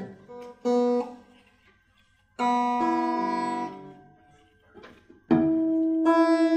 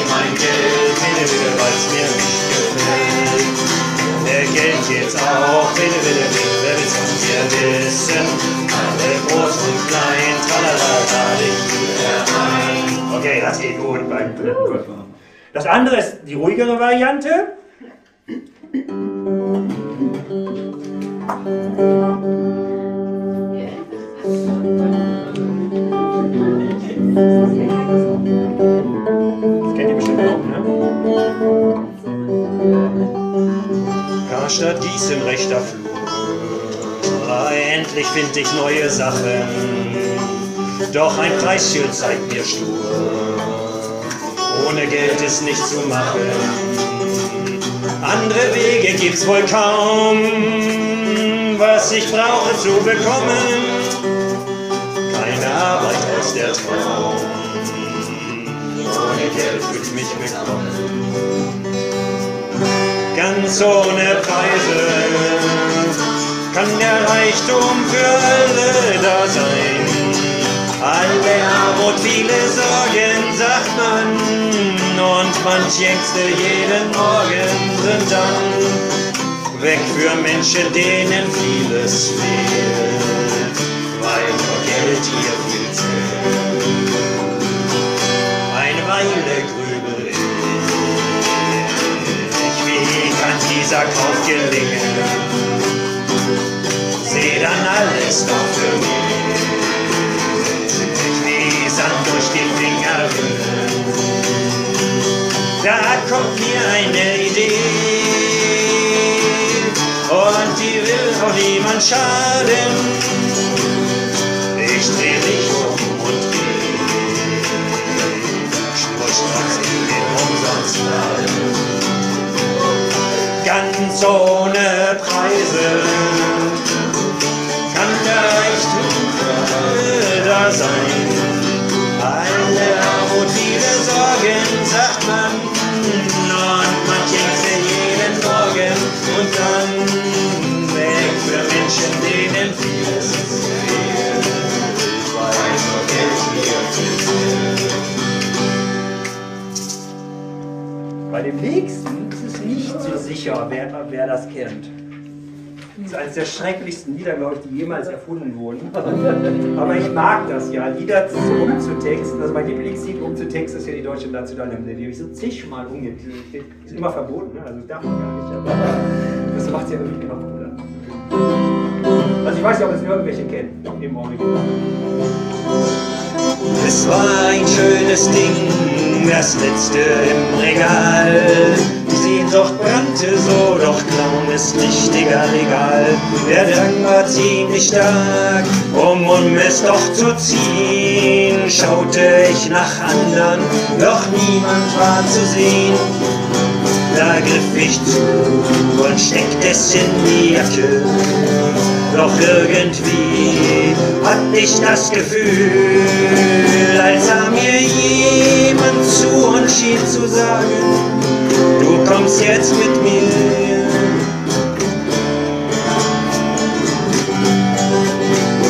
Ich war 16 und der Polizei auch Meister und über Diebe wusste ich nicht viel. Er wusste alles und er ließ mich spüren, du kommst nicht raus hier. War's nur zu teuer. Er gab sich so, als könnte ich nicht entweichen. Und auf den Schultern trug er nur sein Dienstabzeichen. Ich war verlegen und ich wusste nicht wie raus. Aus diesem Raum, in dem ich wie gefesselt hing. Verstehen, hörte ich ihn sagen, nur weil du arm bist, tust du noch, was du fühlst. Drum bleibst du hier, bis du endlich brav wirst, das wird schon gehen.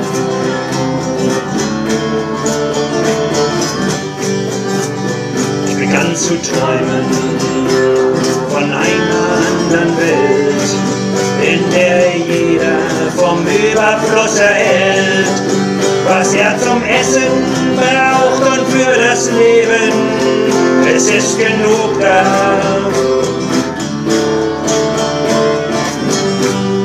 Genug für alle.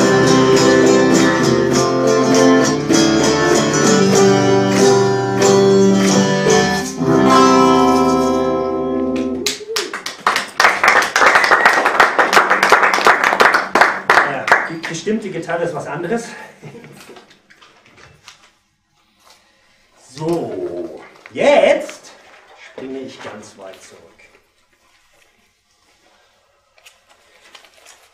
Zu einem Zeitpunkt, wo ich schon mal solche Hoffnung hatte, wie ich sie jetzt auch gerade habe. Nämlich, dass etwas in Gang kommt. Dass in Gießen die Langeweile so ein bisschen wegkommt. Ist ja jetzt nicht so, dass gar nichts passiert ist oder so etwas, aber Ich bin eine ganze Zeit lang jetzt schon, habe hab ich in Gießen, also bis so äh, ungefähr vor einem Jahr, habe ich weniger gemacht, mehr so überregionale Sachen gemacht. Aber es gab schon mal so einen Moment, wo wir halt, wo halt viel mehr so entstanden ist. Und ähm, das war im Jahr 2002. Da waren Leute zusammengekommen, also eigentlich ging das schon 2001 los. Wir hatten diese ganze Idee von diesem Kreativwiderstand und so quasi dort erfunden. Und ähm, dann halt Trainings gemacht, Sachen ausprobiert. Und im Jahr 2002 kamen halt mehr Leute zusammen und haben dann halt auch hier in dieser Stadt, nicht die ihr alle kennt, ein bisschen mehr gemacht. Und zwar ging das los in Gießen im August 2002 und daraus entwickelten sich ganz absurde Auseinandersetzungen. Das ist jetzt ein Teilausschnitt von, manche werden das vielleicht kennen, aus der Tonbilderschau, Tricks von Polizei und Justiz. Da geht es um einen längeren Zeitraum, wie das dann so alles endete, wie absurde Sachen so passierten. Aber zunächst einmal so der Anfang. Wir hatten halt verschiedene Sachen trainiert und im August 2002 gelang uns dann die erste Aktion von diesem Format, was ich so liebe, wo man also verschiedene Sachen ineinander baut. Und zwar war das so, dass dieser Herr, der lebt inzwischen schon gar nicht mehr, war dann mal so Bundesaußenminister, Guido Westerwelle, Bundestagswahlkampf 2002 kam der auf den Kirchenplatz in Gießen und mit seinem Guido Mobil, das ist so ein 31 Liter auf 100 Fahrzeug, und äh, der fuhr da auf den Platz, stieg aus und dann hörte er von da oben, Baugerüst am Kirchturm, mit einem Lautsprecher, Hallo Guido, bist jetzt nicht alleine, wir machen mal ein bisschen FDP-Wahlkampf mit. Nun hatten die dann natürlich so eine Bühne aufgebaut mit einem dicken Mikrofon und einer dicken Anlage. Die FDP, die hat dann natürlich dann besseren Zugang. Und Guido Westerwelle wähnte sich in den Besitz der überlegenen Anlage. Es war aber ganz witzig, weil die FDP fing dann an, weil von da oben wurde halt ständig gestört, da war auch ein fettes Transparent runtergehängt, fing die FDP an, auf die da oben zu schimpfen. Das machen die ja sonst eher nicht so, ne? Und dann waren Leute dazwischen, die sehr laut krakeelt haben und so eine Stimmung erzeugt, man müsste die da oben runterschießen oder so etwas. Und dann fiel plötzlich dem Herrn Westerwelle seine eigene Anlage aus. Und er war sehr erbost und wir konnten von da oben eine Stunde lang den FDP-Wahlkampf alleine bestreiten. Das war sehr unterhaltsam, weil die hatten dann nicht nur so einen neoliberalen Touch, den haben sie ja jetzt auch noch, sondern damals lebte noch ein Fallschirmspringer mehr, der so mit antisemitischen Sprüchen bekannt war. Das konnte man dann auch gut einbauen. Der lebt ja inzwischen auch nicht mehr, das hat er ja dann selber bewerkstelligt. Eine Stunde haben wir dann da halt den FDP-Wahlkampf gemacht. Guido Westerwelle ist wutentbrannt abgefahren und ich weiß gar nicht, ob er dann irgendwann mal erfahren hat, dass es just diejenigen waren, die am lautesten geschrien haben gegen die da oben, die sich damit eingeschleimt haben, das ist halt Kommunikationsguerilla und dann an die Anlage rankam und die Anlage zu Fall brachten. Das ist die Verbindung zwischen verschiedenen Aktionsformen, die diese Wirkung dann erzielen. Und so ging das den ganzen Herbst 2002 weiter. Es gab etliche unterschiedliche Aktionen in der Innenstadt, antirassistischer Aktionstag, Wahlplakate überkleben und so weiter. Und das führte jetzt natürlich dann zu einer Gegenreaktion. Das heißt, die Gießener Polizei beschäftigte sich mit uns. Es passierten sehr lustige Sachen. Also unter anderem sah das so aus, wenn wir mit drei, vier Leuten so durch den Fußgängerzone Theater spielten, sowas, hatten wir dann immer so ein Spalier, so links und rechts durch den Seltersweg. Also es waren absurde Verhältnisse damals. Es gab den ersten Gießener Kessel. Das ist der Gießener Polizeikessel, den wir da haben. Und zwar suchten die nach Rasierschaum. Das ist die Gießener operative Einheit damals gewesen, also die zivile Polizei. Die haben wirklich dann angefangen, die gesamte zivile Polizisten, die sie so hatten, nur noch auf uns anzusetzen. Die sind normalerweise so auf Partys unterwegs und besorgen Drogen für die Abende da in der Polizeipräsidium. Ich weiß gar nicht, ich habe nie Kontakt gehabt zu der Drogenszene. Ob damals in dieser Zeit das eigentlich sehr entspannt war, weil die ja beschäftigt waren. Das Ganze spitzte sich dann langsam zu. Am 16. September, das ist also nicht viel länger, kassierte die Projektwerkstatt, die sich ja immer so als Hort des Übels zu sehen, die erste Hausdurchsuchung. Wir wurden ständig durchsucht. Und dann schlitterte das Ganze auf ein Ereignis zu im Dezember 2002. Und zwar wurde im Dezember 2002 die Gefahrenabwehrverordnung verabschiedet. Das ist etwas, was inzwischen in Gießen gilt. Die Gefahrenabwehrverordnung basiert auf dem hessischen Polizeigesetz, oder das heißt ja hessisches Sicherheits- und Ordnungsgesetz, das Polizeigesetz hier. Und danach dürfen die, die Städte nochmal einen drauflegen. und dürfen bestimmte Sachen verbieten. Und so gibt es diese Gefahrenabwehrverordnung in Gießen und da ist äh, alles Mögliche verboten. Äh, man darf keinen Teppich ausklopfen im in Innenstadtbereich, also immer in den Innenstadt, gilt für den Bereich innerhalb des Innenstadtrings. Sie wollten das Wühlen in Papierkörben verbieten, ähm, so nach S-Bahnen oder nach Pfandflaschen. Das haben sie dann wieder rausgenommen wegen der Proteste. Und ähm, die absurdeste Sache, unter anderem steht da drin, dass man nicht mit mehr als zwei Personen in der Gießener Innenstadt, das gilt auch jetzt, Alkohol trinken darf. Das ist natürlich eine Formulierung, die eigentlich anders lauten würde, nämlich alle unter 400 Euro äh, ähm, verfügbarer Geldmenge mit bunten Haaren und äh, ohne festen Wohnsitz sollen bitte nicht mehr nach Gießen rein. Sowas darf man aber im Moment noch nicht wieder in Gesetze reinschreiben. Also haben sie das so gemacht, dass das Alkoholtrinken mit mehr als zwei Leuten sind. Kreativwiderständlerinnen, wie wir nun waren, machen das dann natürlich anders und ziehen sich zum Beispiel eine Polizeiuniform an und gehen, das war im Dezember, gehen an die Weihnachtsstände, wo die Leute zusammen Glühwein getrunken haben und scheuchen die auseinander. Und dann kommt die normale Polizei und sagt, was machen Sie denn hier? Ja, wir passen auf, dass die Leute nicht mit mehr als zwei und so weiter. Das ist ja super, dass Sie kommen, können Sie mithelfen und sonst was. Und dann wollte sie mit uns beschäftigen und sagen wir, naja, ja, ist ja gut, dann machen Sie halt hier diesen Stand, wir gehen inzwischen. Absurd, also so, da spitzte sich jetzt halt zu und jetzt kam diese Gefahrenabwehrverordnung und dann gab es in der Presse jede Menge Berichterstattung darüber, über diese Gefahrenlage und dass da bestimmt was ganz Schlimmes passiert. Und in solche Situationen hinein ist eine Form von Kreativwiderstand ziemlich gut, das sogenannte Fake. Also wenn so eine Angstsituation so da ist, glauben die Leute alles. Und so wurde rund um das Rathaus damals ein Brief an alle Bewohnerinnen und Bewohner verteilt vom Rechtsamt der Stadt Gießen. Bla bla, Sicherheitsvorkehrungen am Donnerstag, den 12. Dezember, ne, da war diese Stadtverordnetenversammlung. Und dann wurde alles Mögliche gemacht, man soll da keine Autos parken und die Fenster und Türen geschlossen halten und so weiter. Hier haben wir noch einen lustigen Absatz, beim Auftauchen von Personen in Polizeiuniform sollen die Leute sofort beim Polizeipräsidium anrufen. Weil Grund ist, dass Teile der vom Magistrat als gefährlich eingestuften Gruppen sich bei ihren Aktionen in Polizeiuniform verkleiden. Also lauter so Sachen. Und das Schönste, hier wird angekündigt, dass die Stadtverwaltung an dem Tag geschlossen ist, aus Sicherheitsgründen. Das haben sie tatsächlich gemacht. Also, das ist Kommunikationsprogramm, ne? das ist natürlich eine Fälschung gewesen, aber es gab richtig viel Presseberichterstattung. Spätestens mit diesem Fake war das Thema das Thema überhaupt in der Stadt. Und dann passierten die absurdesten Sachen. Ich kann mich noch erinnern, das war am 12. Dezember, am 11. Da haben wir uns hier schon in Gießen versammelt. Und ich bin am Abend mit jemand anders noch äh, mit dem Fahrrad durch die Fußgängerinnenzone gefahren. Darf Mensch ja, ne? Nach 19 Uhr. Und da sind wir durchgefahren, das war jetzt irgendwie Mitternacht oder sowas ähnliches. Und dann sahen wir die ganze Innenstadt, überall fuhren Polizeiautos rum. Ich weiß nicht warum, also wahrscheinlich wollten die aufpassen, dass niemand die Häuser klaut oder so. Egal. Jedenfalls, wir kamen von der Frankfurter Straße, fuhren durch den Seltersweg durch, dann sind wir nach rechts auf den Brandplatz gefahren. Und da war dann die ganze Zeit so ein Streifenwagen neben uns. Und da dachten wir uns, das ist auch ein bisschen blöd und sind dann nach links auf die Waldtorstraße gefahren, ungefähr so auf der Höhe vom Café Amelie DGB-Haus da. Das sind ja so Eisenstangen, ne? da kommt man mit dem Fahrrad so durch. Manche werden das wahrscheinlich kennen und die Autos können uns nicht mehr folgen. Da sind wir also auf die Waldtorstraße und als wir auf der Waldtorstraße raus sind, kamen von allen Seiten Polizeiautos und wir wurden festgenommen. Und wir sind auch nicht wieder rausgekommen, wir zwei, bis die Stadtverordnetenversammlung vorbei war. Das war der erste hessische Polizeigewahrsam. Dieses Unterbindungsgewahrsam heißt das ja, das kennt ihr vielleicht, das inzwischen passiert das ja häufiger.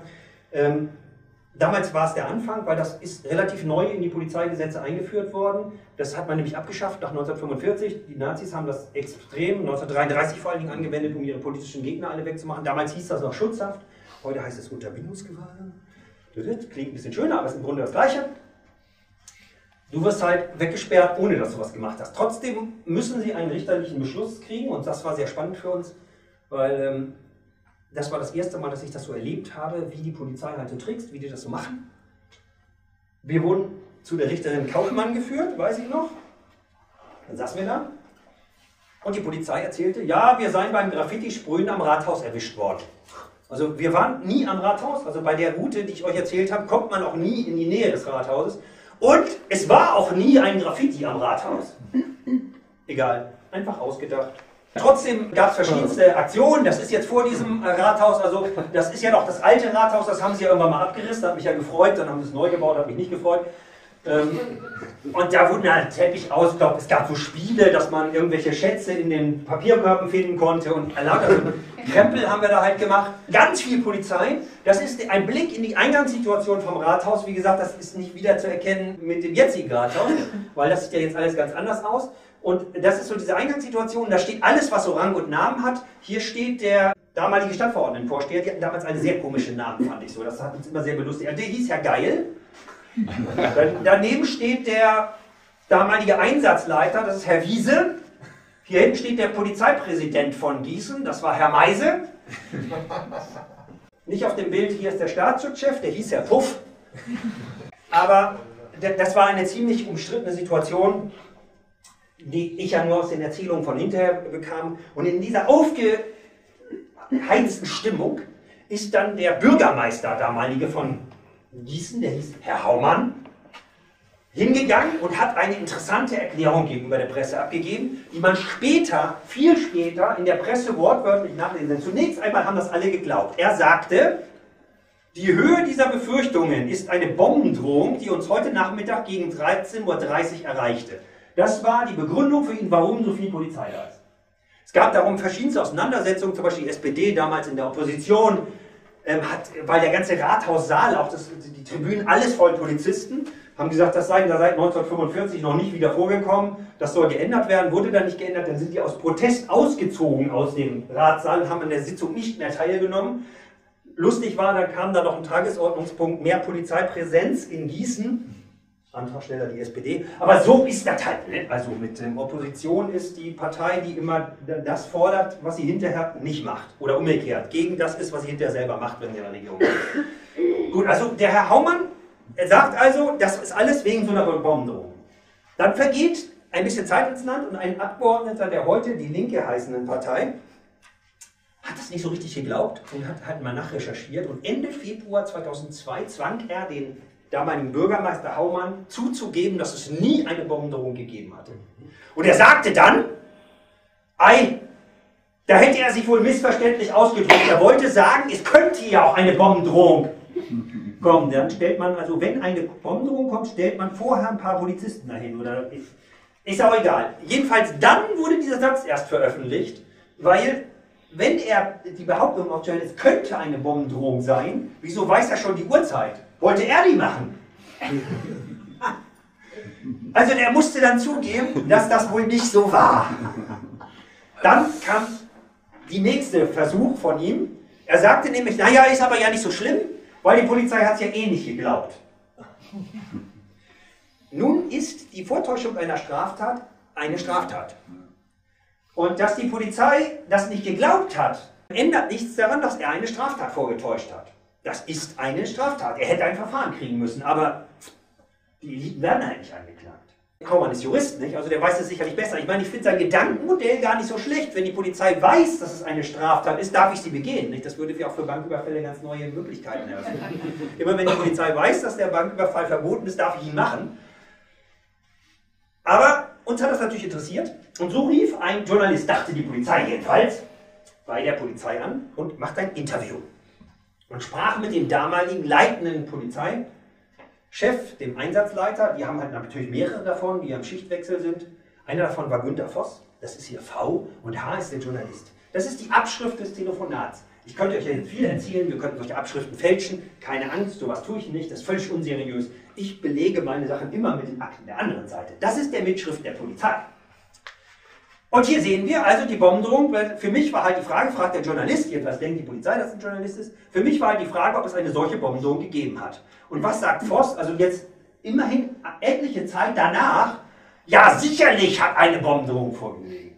Und in der Tat sind die auch mit äh, Bombenspürhunden da durchgegangen. Also völlig eindeutig, auch das eine Lüge des Bürgermeisters. Und aber auch zum, zu zeigen, in welch einem Rahmen das Ganze stattfand, das waren wirklich ziemlich heftige Auseinandersetzungen. Also hier ging richtig viel ab. Auch nochmal so ein, es waren eher eine Hauptsache gar nicht irgendwelche Sachen, die strafbar waren oder so etwas. Ganz viele bunte, kreative Sachen. Trotzdem allein die Strafbarkeitsstatistik ist einfach, ich finde ja genial. Nicht? Also die Kriminalitätsstatistik von Gießen 2003 wies eine, die haben ja immer so linksextreme Straftaten, da die dann alles Mögliche rein. Und die Steigerung der linksextremen Straftaten nach dieser Polizeistatistik von 2003 im Vergleich zu 2002 betrug 657 Prozent. Also das war echt eine Problemlage, die die Polizei da hatte und eine Auseinandersetzungskultur. Der Bürgermeister Haumann, nachdem er entlarvt war als Lügner und als Straftäter, haute eine Presseinfo raus, in der er sich selbst, also er liest das seine Stadtpresseamt äh, machen, das ist ein Auszug, jetzt aus der paar Sachen in der Mitte weggelassen, dann nimmt er halt Stellung dazu und dann schreibt er, dass ihn in den letzten Jahren sehr viele Menschen auf der Straße angesprochen haben mit dem Tenor, Sie haben das richtig gemacht, habe ihn bestärkt. Die Vorwürfe, er habe ein hartes Sicherheitsverständnis, seien für ihn eine Auszeichnung. Ich stehe für Law and Order, die anderen offenbar für Lust und Laune. Also ich glaube, es gibt nicht so viele Bürgermeister und Bürgermeisterinnen, die Lust und Laune in ihrer Stadt scheiße finden. Das wurde das Motto des Widerstandes damals, der Auseinandersetzung um so Gentrifizierung, nennt man das heute, damals noch Obdachlosenvertreibung. Da haben wir relativ viele Sachen gemacht, viele kreative Aktionen. Du setzt dich mal so, ich muss mich da ja gar nicht groß umkleiden oder sonst was, ich setze mich einfach zwischen die Obdachlosen, habe auch so eine Pulle in der Hand, aber laufende Tonbänder. Und dann lassen wir uns mal zusammen rausprügeln und so etwas. Also solche Sachen haben wir permanent gemacht und das hat riesen Probleme für die gebreitet und führte halt zu diesen Auseinandersetzungen. Aber aufgrund auch nochmal so eine Aktion, so eine Kreativaktion, die hier in Gießen erfunden wurde, also sie ist inzwischen in etlichen Städten auch gemacht worden, finde ich auch ein witziges Format, können wir auch gerne nochmal zusammen wiederholen. Der sogenannte Kameragottesdienst. Also kurz nachdem wir dieses erlebt hatten, dass wir dort eingesperrt werden mit erfundenen Straftaten, dass der einfach eine Bombendrohung erfindet und so weiter, haben wir unsere Aktion nochmal so verändert, das haben wir dann später kreative Antirepression genannt, dass wir gesagt haben, wir müssen das Auftauchen der Polizei in unsere Aktionen einplanen. Und die erste war zwischen Weihnachten und Neujahr 2002, haben wir das umgesetzt, der sogenannte Kameragottesdienst.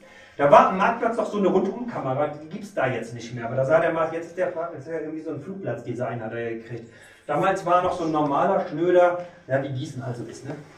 Und da stand diese Rundumkamera und da sind wir dann halt hingezogen und sind so die Fußgängerinnenzone mit weißen Umhängen und haben über so Kyrie Sony gerufen oder selig sind die Friedfertigen, denn ihre Daten werden gelöscht oder Jesus sagte seinen Jüngern, ihr sollt nicht Fische, sondern Menschen fangen, die Polizei ist sein Nachfolger. Und lauter so einen totalen Dünnsinn. Und dann haben wir da so Predigt gehalten, wir haben auch Lieder gesungen, ne, so ähm, alles bedanke für deine guten Bilder und so. Also so ein richtig kompletter Gottesdienst. Und ich glaube, damals hieß der Ministerpräsident noch Roland Koch, ich glaube an Roland Koch und so. Und alles umgeschrieben, so eine ganze Gottesdienstliturgie. Das war sehr lustig. Und dann haben wir das halt angebetet, da die Kamera. Und dann kam die Polizei, stiegen aus und wir hatten uns ja darauf vorbereitet jetzt und gingen dann hin zu denen und haben sie angebetet als Propheten des Sicherheitsgottes haben ihm die Füße geküsst. Dann kamen die natürlich, haben gesagt, hier jetzt mal, was machen Sie denn hier? Ah, die Heiligen reden mit uns. Egal, was die sagen, wir reagieren immer in dieser Art und Weise. So eine schöne Variante, nebenbei auch nicht den Fehler zu machen, irgendwelche Aussagen oder sowas zu machen. Wir bleiben immer in diesem Gleis. Und dann, ah, schlagen Sie mich, ich wasche mich auch nicht mehr. Und, dann, wenn die dann sagen, wir können die auch alle mitnehmen. Ah, die Heiligen nehmen uns mit. Wir haben gar keine Chance. Das hat vielleicht ein bis zwei Minuten, vielleicht ähm, kommt mir das auch jetzt nur so kurz vor, aber es hat super kurz gedauert. Ich meine, am, das ist an der Bushaltestelle da am Marktplatz. Da stehen riesig viele Leute, gucken sich das Spektakel an. Und dann sind die umgedreht und abgehauen. Und wir so, halt, bleibt hier hinterher, haben uns auf den Boden geschmissen und sind einfach in ihre Autos gestiegen und abgehauen. Ja, was machen wir? Wir machen unser Gottesdienst zu Ende und dann gehen wir auch noch mal in Karstadt. Da sind auch ganz viele Rundumkameras, genau wissend, hier kommt keiner mehr. haben wir dann auch noch mal komplett die ganze Liturgie gemacht. Also war wirklich, das war wirklich richtig schön. Aber der Höhepunkt war noch was ganz anderes. Wir waren da ja noch am Üben. Ne? Das ist jetzt alles so am Anfang. Also heute haben wir da ganz viel so und ich lade ja auch immer Leute ein, solche Aktionstrainings oder sowas zu machen. Wir geben das ja auch gerne weiter. Damals waren wir noch viel am Üben und wir waren damals gar nicht gut genug. Wir haben etwas gemacht, was ich heute immer empfehlen würde, das sollten wir bei der Umsonstumzug in zwei, drei Monaten vielleicht auch mal diskutieren, unsere eigene Gegengruppe zu gründen. Eigene was? Unsere eigene Gegengruppe. Die mit total blöden Argumenten dagegen anpöbelt. Total gut. Also wenn da dann noch mal so drei stehen mit so einem Megafon und verschroben dagegen, das ist doch alles doof und sowas. Oder wie. so, bei diesen ganzen Innenstadtauseinandersetzungen haben wir hier auch, das war die Anfangsaktion unserer eigenen Gegengruppe, nämlich die Initiative Sicheres Gießen, Legende, die ISG. Und wir haben allerdings gar nicht geglaubt, dass das irgendjemand glauben würde. Oder haben, was für Idioten wir waren. Wir haben wirklich unsere eigene Adresse genommen. Weil wir dachten, man kann gar nicht so blöd sein. Wir haben eine Presseinfo rausgehauen und fasziniert zur Kenntnis genommen, am nächsten, war an einem Samstag und am nächsten Tag erscheint das Sonntagmorgen-Magazin, das kennt ihr, ne? das macht man den Briefkasten so voll. Und das Sonntagmorgen-Magazin, das ist ja nun auch jetzt nicht gerade so eine extrem emanzipatorisch ausgerichtete Zeitung, brachte unseren Umzug als Titelthema. Vorne drauf, der größte Artikel, mitten vorne drauf. Und zwar haben sie es geglaubt. Das ist der Artikel, Initiative Sicheres Gießen, sogar uns, uns abgebildet mit so Schildern. Und dann haben sie wirklich das dann zitiert, eine Prozession für die erweiterte, die haben sich total gefreut. Für die erweiterte Videoüberwachung führte am gestrigen Abend in Seltersweg die neu gegründete Initiative Sicheres Gießen durch. Mit dieser Aktion wollte die Initiative einen klaren Kontrapunkt zu den Protesten gegen die Gefahrenabwehrverordnung setzen. Bla bla bla.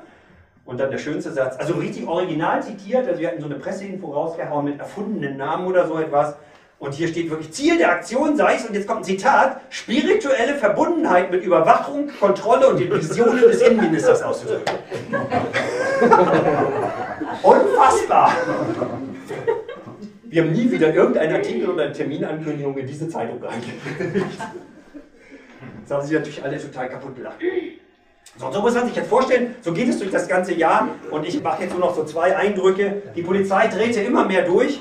Im Januar 2003 kam es zu einem unheimlich absurden Überfall auf die Projektwerkstatt. Das ist hier dieses Gebäude da in, der, in Sasen. Und zwar ohne Durchsuchungsbefehl, komplett einfach mit LKWs hin und alle Technik wegräumen. Es gab gar nichts mehr. Hier sieht man, was die alles so mitgenommen haben. Eine lauter Kabel oder sowas. Ich weiß nicht, also kann man, sind da noch Daten drauf, so, wenn man genau? Also wirklich, also unfassbar. Alles, was irgendwie technisch war, weil die wollten einfach uns lahmlegen. Die wussten gar nicht mehr, was sie tun sollen.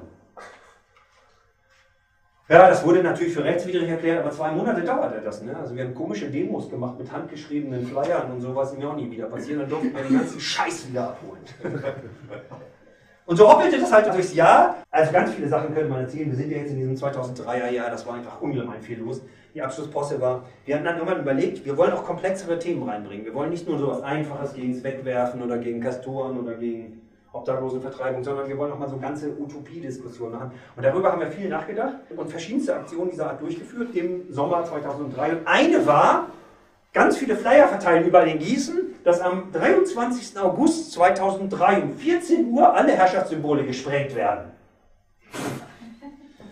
So, und jetzt kam dieser Tag natürlich irgendwann.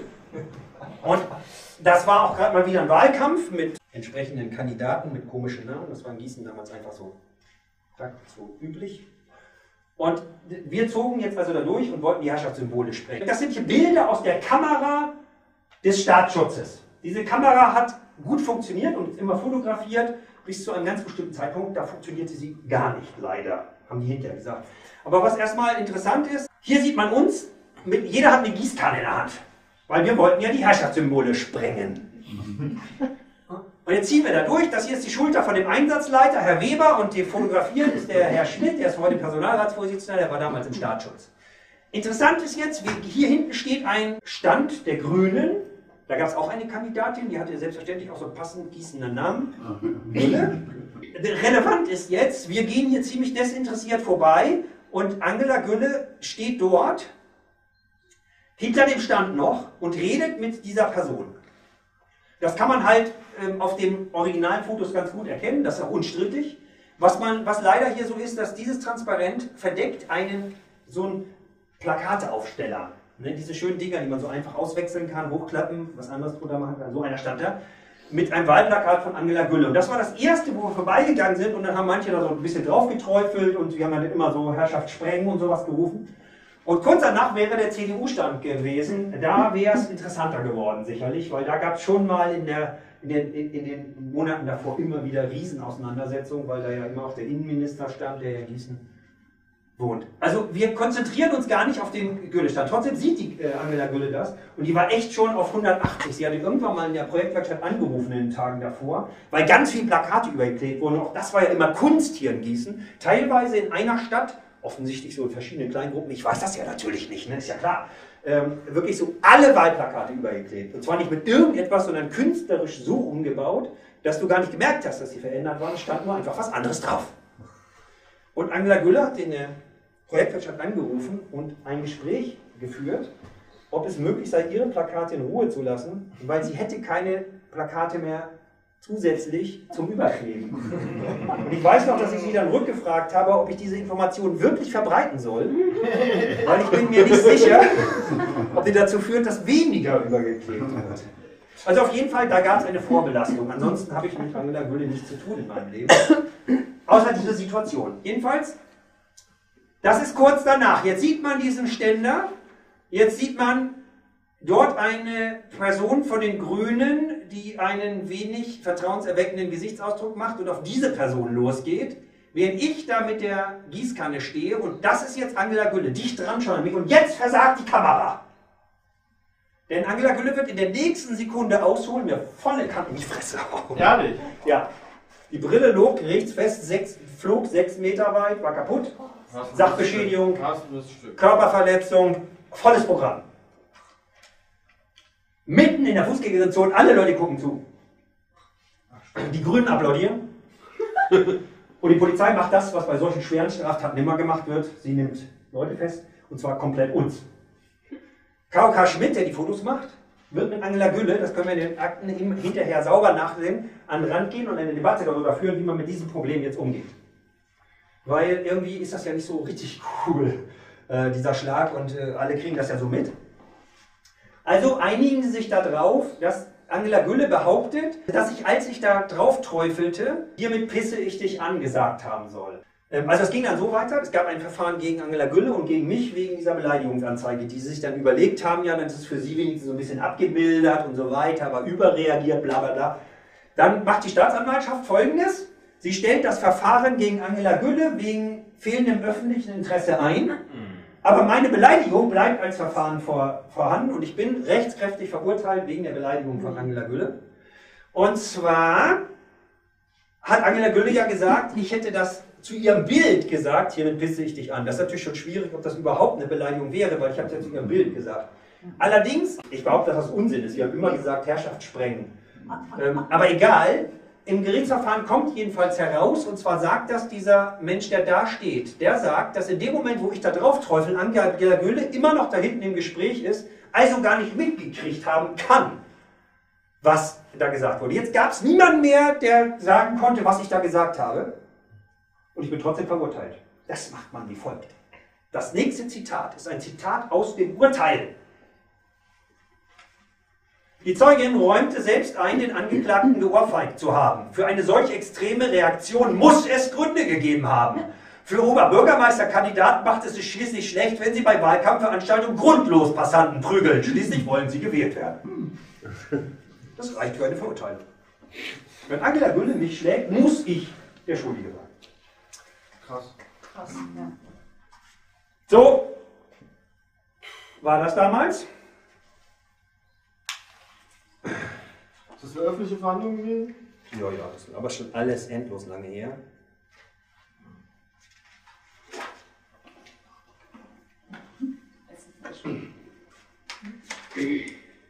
Ich habe noch einen Filmbeitrag. Und zwar ist das Spannendste an der Aktionskunst, die kreativen Dinge cool miteinander zu verknüpfen. Nicht nur eine Sache zu machen, sondern hier eine direkte Aktion mit einer Kommunikationsguerilla darauf zu reagieren, deine eigene Gegengruppe kommt dann in Erscheinung und so weiter und so fort. Das haben wir mal, ich fand, ja wie in so einer Art Retorte mal gemacht. Wir sind mal mit ein paar Leuten in eine Stadt gefahren und haben dort vier Tage uns aufgehalten. Vier Tage. Wir waren vorher alle nie in dieser Stadt und haben ein Thema aufgegriffen, was uns damals ähm, sehr am Herzen lag und was jetzt im Moment gerade wieder total in ist. Ich hatte das ja letzte Mal auch schon erwähnt, weil ich musste immer ein bisschen motzen. Wir sind gerade im Lutherjahr. Von dem habt ihr wahrscheinlich schon mal was gehört, Martin Luther. Ne? Das war so der, der geistige Führer des äh, fundamentalistischen Christentums. Also der, der gefordert hat, dass man alle Synagogen verbrennen soll und die Juden alle in Arbeitslager sperren soll. Ähm, der gefordert hat, alle Türken zu töten, die, alle Aufständischen zu töten und so weiter und so fort. Also eigentlich alles rausgehauen hat, alle gebrechlichen, sogenannten, heute will man die Behinderten nennen, alle zu töten ähm, und so weiter und so fort. Und der eine Menge von beeindruckenden Sachen auch über die Obrigkeit gesagt hat. Zum Beispiel Zitat, es ist besser, wenn Tyrannen 100 Ungerechtigkeiten gegen das Volk verüben, als dass das Volk eine einzige Ungerechtigkeit gegen den Tyrannen verübt. Also das ist Luther. Gott will die Oberherren, seien sie böse oder gut. Also immer wieder Luther, ein fundamentalistischer Christ vom Allerübelsten. Finde ich auch deshalb total spannend, nicht, der ist ja tot, ne, schon ein Weilchen, das haben vielleicht manche mitgekriegt, aber es beziehen sich halt unverschämt viele Leute positiv auf den. Und das war vor etwas mehr als zehn Jahren schon mal so, da lief dieser Luther, der Film, vielleicht können sich einige erinnern, ein unverschämter Helden, ähm, Ding, wo er sogar mit behinderten Kindern, sogenannten behinderten Kindern, da spielt und die tätschelt, obwohl er in Wirklichkeit ähm, gefordert hat, die müsste man alle in der Gosse ersäufen, Zitat Luther. Ähm, also dieser Film ist einfach unverschämt und da haben wir einige Aktionen gemacht. Wir haben auch zum Beispiel Diskussionen angeboten im Kino Traumstern, haben Flyer verteilt. Hier vom Kinocenter weiß ich noch, mehr Flyer verteilt. Ähm, und dann sind wir in eine der Lutherstädte gezogen, also wo Luther so richtig kultiviert wird. Mit ein paar Leuten, die richtig auch schon ein bisschen Erfahrung hatten, hatten alles Material dabei und haben vier Tage volles Programm in dieser Stadt angezogen. Eine Stadt, wir kannten die Stadt nicht, die Stadt kannte uns nicht. Und ähm, das will ich so nicht erzählen, weil ich habe das schon mal erzählt, das ist abgefilmt worden und dann sind die, ist das verfilmt worden, dass man die Bilder dazu sehen kann. Und ähm, das ist jetzt nochmal ein ähm, Film, ähm, bevor ich dann quasi zum Ende komme. Jetzt mache ich nochmal das Licht aus und ihr könnt mal sehen, wenn man so ganz viele Aktionen aneinander hängt, was sich so rausholen lässt. Eine Stadt nichts ahnte und vier Tage später ist alles anders. Thank you.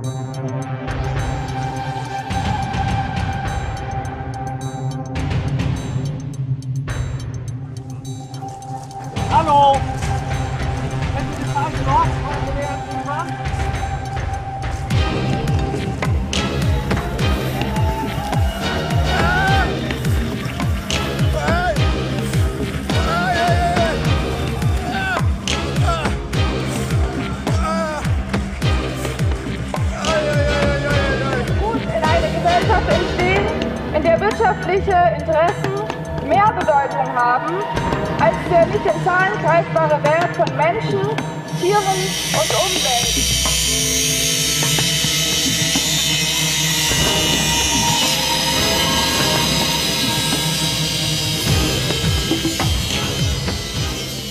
Das ist jetzt die krönende Abschluss.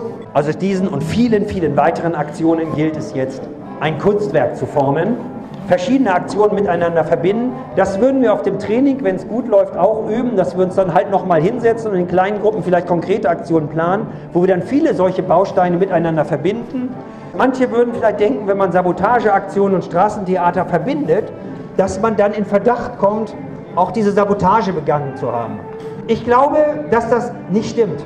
In dem Moment, wo eine Theatergruppe auftritt und zu einem Thema irgendetwas macht, wirkt es eher so, als wenn die das nicht war, die das in der Nacht davor auch was gemacht hat. Vielleicht kennen die sich oder wie auch immer. Es könnte sein, aber ich behaupte, dass das diesen Verdacht noch nicht mal besonders schürt, sodass man auch ein bisschen mutig sein kann, die Sachen miteinander verbinden. Aber natürlich können das auch unterschiedliche Gruppen machen. Ich will mal Beispiele nennen. Die zwei habe ich schon genannt. Die stehen jetzt hier nur noch mal bei dieser Aktionsschwarzfahrt. Da haben wir auch verschiedenste Sachen miteinander verbunden oder andere haben andere. Da gab es ja auch Sprühattacken und Überkleber und alles Mögliche. Bombodrom hatte ich auch schon erzählt. Bei Kommunikationsguerilla, da gab es auch noch Angriffe auf die Infrastruktur. Die Kaserne ist auch mal pink angemalt worden und deren Leitstand ist technisch zerstört worden. Die ganzen Schilder dieser Achtung Sicherheitsbereich, bla bla bla, Schusswaffen, komplett um den Truppenübungsplatz, alle umgemalt. Also da waren sehr viele unterschiedliche Aktionen. Aber ich will mal ein Beispiel herausgreifen, was quasi so der Prototyp ist, wie man diese Dinge miteinander mischen kann. Und zwar gab es mal Leute, vier oder fünf waren das. Ich kann mich gar nicht mehr richtig erinnern. Die sind in eine Stadt gegangen, zu der überhaupt gar keine Verbindung bestand, um ein Thema zu machen, mit dem hatten wir uns damals halt beschäftigt. Und das ist übrigens ein Thema, was uns in zwei Jahren wieder begegnet, Martin Luther. Martin Luther, werden vielleicht einige wissen, ist ein deutschnationaler Held und auch ein Kirchenheld. Das ist vielleicht nicht ganz überraschend, dass der ein totales Arschloch war. Also er hat unter anderem gefordert, dass alle Juden verbrannt werden sollen und die Arbeitsfähigen vorher noch in Arbeitslager gesteckt werden sollen. Das hat er tatsächlich so gefordert und deshalb hat Adolf Hitler auch gesagt, er sei der praktische Vollstrecker des Willens Luther, wo Adolf Hitler recht hat. Außerdem wollte Martin Luther alle Gebrechlichen in der Gosse ersäufen. Das wäre also quasi das, was dann Adolf Hitler als T4-Aktion, also die haben das Euthanasie genannt, beschönigend. Auch das hat Luther schon gefordert. Luther ist aber ein Kenner in allen Metiers gewesen, so hat er sich auch mal über Frauen geäußert. Das klang dann so, Frauen sollen beim Beischlaf immer unten liegen, weil sie weniger wert sind. Luther war bekanntlich antirevolutionär, also hat die Niederschlagung der Bauernaufstände gefordert. Also eigentlich durchgehend nur ein Arschloch. So, jetzt war damals Luther der Film, kam in die Kinos und Luther wurde total gehypt. Und wir haben eine Menge von Aktionen gemacht, in Kinos, vor Kinos und so weiter. Und irgendwann sind wir mit ein paar Leuten zusammen in die Lutherstadt Wittenberg gegangen. Eine Stadt, die vorher wahrscheinlich überhaupt noch nicht solche Aktionstechniken erlebt hat. Es gab da irgendwie eine leere Wohnung und wir hatten im Gepäck alles schon dabei, was wir brauchten. Und dann gab es vier Aktionstage in der Stadt und nach diesen vier Tagen war in dieser Stadt wenig wie vorher. Eine totale Diskursverschiebung, das war sehr spannend. Ein Vierteljahr vorher hatten wir uns schon angemeldet als Pfadfinder aus Bad Fallingbostel und hatten dort mit der Touristik ins Büro abgesprochen, wir machen dort ein Theater. Da sind wir. So sah das Theater aus. Wir hatten uns so in Mönchskutten geworfen und haben ein Theater Channeling mit Luther gemacht. Also Channeln kennt ihr vielleicht, ne? das sind diese Gespräche, Methoden, die sich irgendwelche Esoteriker ausgedacht haben, dass man das machen kann. Und wir haben dann halt gesagt, wir channeln mit Luther und hatten so ein Band mit so einer verkorksten Stimme gemacht und haben gesagt, aber die Technik ist noch nicht so ausgereift. Luther kann nur Sachen antworten, die er auch schon auf der Erde als Lebender gesagt hat. Und dann haben wir halt so Interviews mit ihm gemacht und dann hat er diese ganzen Sätze so rausgehauen, die ich eben benannt habe. Das war im Kern das kommunikative Element. Das war uns wichtig. Wir wollten auf dem Marktplatz permanent sein, damit der Erregungskorridor, der sich entfalten sollte in diesen Tagen, einen Adressaten hat, dass die Leute mit jemandem reden konnten, nämlich mit uns dort. Niemand hat uns jemals verdächtigt, dass wir auch die anderen Sachen gemacht haben während der vier Tage. Wir haben das richtig in der Presse angekündigt, das ist die Zeitung dort, die kündigte unser Straßentheater da auch an. Das war also alles ganz nett. Dann ging es weiter. In der ersten Nacht passierte mehrere Sachen. Unter anderem wurden ganz viele lutherkritische Ausstellungen dort in der Stadt geklebt. Das hier zum Beispiel sind solche Teile an so einer Litfaßsäule. Außerdem wurde eine These 1 versprüht. Und zwar massenweise in der ganzen Stadt. Das hat noch keinen so richtig aufgeregt. Dann kam der nächste Tag wieder mit unserem Theater. Die Sachen wurden teilweise übergemalt. Dann kam die zweite Nacht. Da war der Marktplatz. Da sind zwei Denkmäler von Luther und von seinem Lehrer. Melanchthon heißt der. Und da ist dann das alte Amtsgericht. Und an dem ist in ziemlicher Höhe ein Spruch von Luther so wie man es hier sieht, eine Steinplatte und die Buchstaben gucken raus und sind mit Blattgold belegt. Fürchte Gott, ehre die Obrigkeit und sei nicht unter den Aufrührern. Und am nächsten Tag fehlten ein paar Buchstaben, wie auch immer die abgefallen sind. Und es sah so aus. Fürchte die Obrigkeit und sei unter den Aufrührern. Ein halbes Jahr lang blieb das so und das Parlament von Wittenberg hat diskutiert, ob sie es renovieren, weil das so unglaublich teuer ist. Außerdem wurde die These 2 gesprüht, auch zigfach in Wittenberg. Und jetzt gab es eine Reaktion. Nämlich die Polizei patrouillierte, der Graffiti-Hubschrauber aus Berlin kam, um diese Leute zu jagen. Und die Kirche stellte Freiwilligentrupps auf, um in der Nacht irgendwas zu erreichen. Aber es nützte alles gar nichts. Dritte Nacht. 95, weißt du, wisst ihr, 95 Thesen hat Luther da angeschlagen. Das ist ja auch der Grund, warum uns übernächstes Jahr Luther begegnen. 500 Jahre Thesenanschlag. Der Reformationstag wird einmalig zum bundeseinheitlichen Feiertag. Also da wird so viel Deutschnationales und Kirchengesäusel abgehen, dass einem schlecht wird. Aber ich finde das ja ehrlich gesagt ganz gut, weil Luthers Texte sind unsere Waffe, uns mit diesem deutschnationalen Taumel und dem Kirchentaumel auseinanderzusetzen. Also, es gab eine Aktion 95 Farbbeutel auf Luther. Das ist das Denkmal von Luther. Und These 3 wurde gesprüht. Und der Graffiti-Hubschrauber fuhr da rum und diese ganzen Trupps fuhren da rum und es hat ihnen alles nichts genützt. Und das war relativ einfach. Zwei Leute saßen die ganze Nacht auf einer Bank mitten auf dem Marktplatz mit Weinflaschen in der Hand, so in einem Obdachlosen-Design. Wir sind nicht ein einziges Mal kontrolliert worden.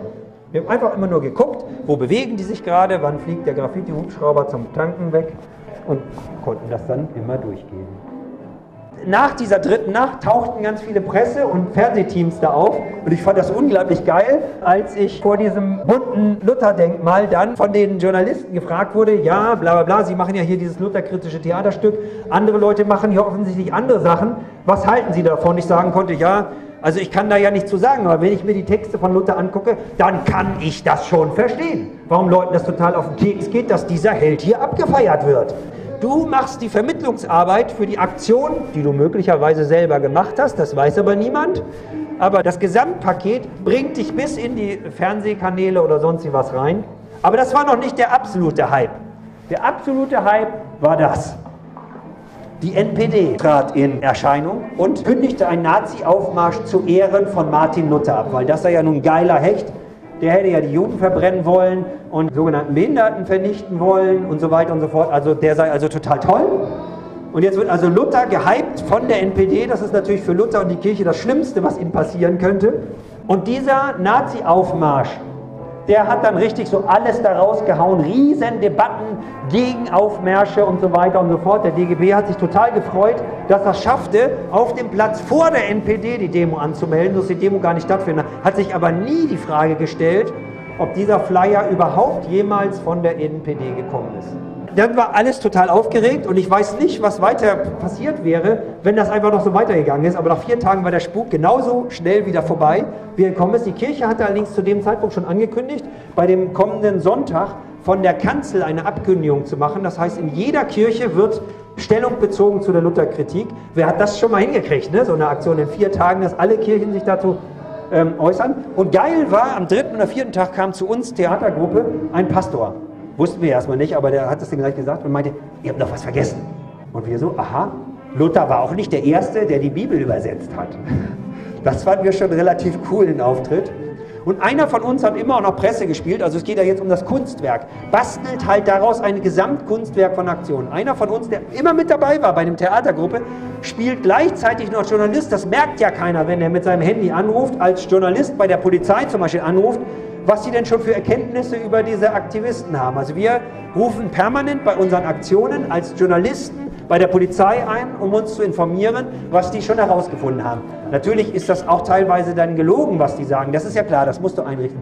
Oder wir rufen bei der Kirche an und bitten die um Stellungnahme zu unseren eigenen Aktionen. Das wissen die nur noch nicht. Und diese, zu diesem Pastor haben wir Kontakt gehalten und der Mensch von uns, von der Presse, hat mit ihm ein paar Tage später telefoniert. Und das muss sehr geil gewesen sein, das Telefonat. Erzählte er nämlich, der sagte, also, ich will Ihnen mal was sagen.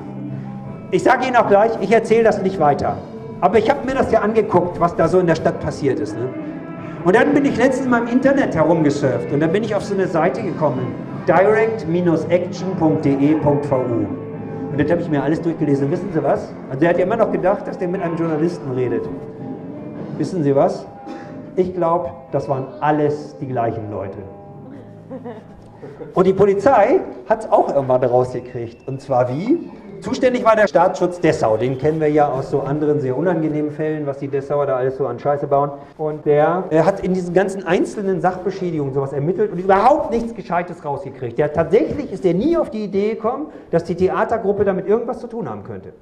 Aber sie haben uns trotzdem immer fotografiert, haben mit der Stadt geredet, wer sind die eigentlich? Und die Stadt immer, nee, die haben sich bei uns schon vor einem Vierteljahr angemeldet, aha, aha, aha in ihrer totalen Verzweiflung, wir wissen das dann später aus der Polizeiakte, weil wir dann doch noch ein Verfahren gekriegt haben, aber das ist dann auch schnell wieder eingestellt worden, In ihrer totalen Verzweiflung haben sie eins von diesen Fotos genommen, von uns als Theatergruppe, und haben das an alle Polizeistationen Deutschlands verschickt. Kennt irgendjemand diese Leute? Und so kam das halt bei der Polizei Gießen an. Deren Brief zurück ist einfach total schön. Ja, die kennen wir alle. Und das, was Sie beschreiben an Methoden, das kennen wir hier seit Jahren. Und wir können Ihnen gleich einen Tipp geben. Hören Sie auf, in den Einzelfällen zu ermitteln, weil die machen keine Fehler. Machen Sie gleich ein 129er Verfahren Bildung krimineller Vereinigung. Das haben die dann auch eine Zeit lang gemacht, aber dann auch wieder eingestellt, war dann auch egal. So kamen wir an diese wunderschöne Akte.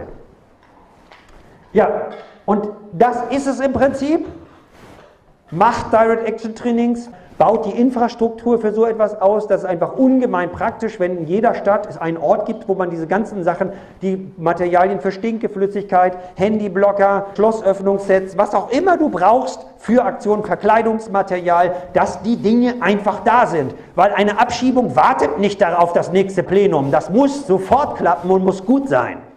Und ich finde, dass sich das lohnt anzueignen, weil diese Welt ist echt so scheiße, dass es Zeit wird, dass wir nicht mehr immer nur die Begleitfolklore des Unabwendbaren sind, sondern dass wir die Scheiße endlich mal abwenden.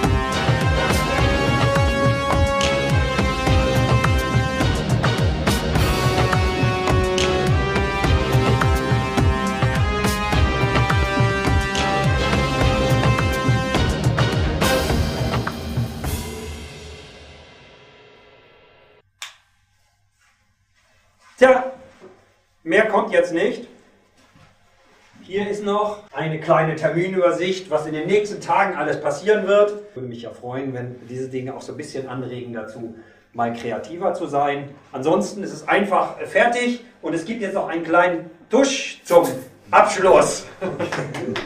Wir schalten aber schon mal noch. Hello, everyone. Uh, my name is Tomilani. I'm coming from South Africa. And um, I brought the instruments with me.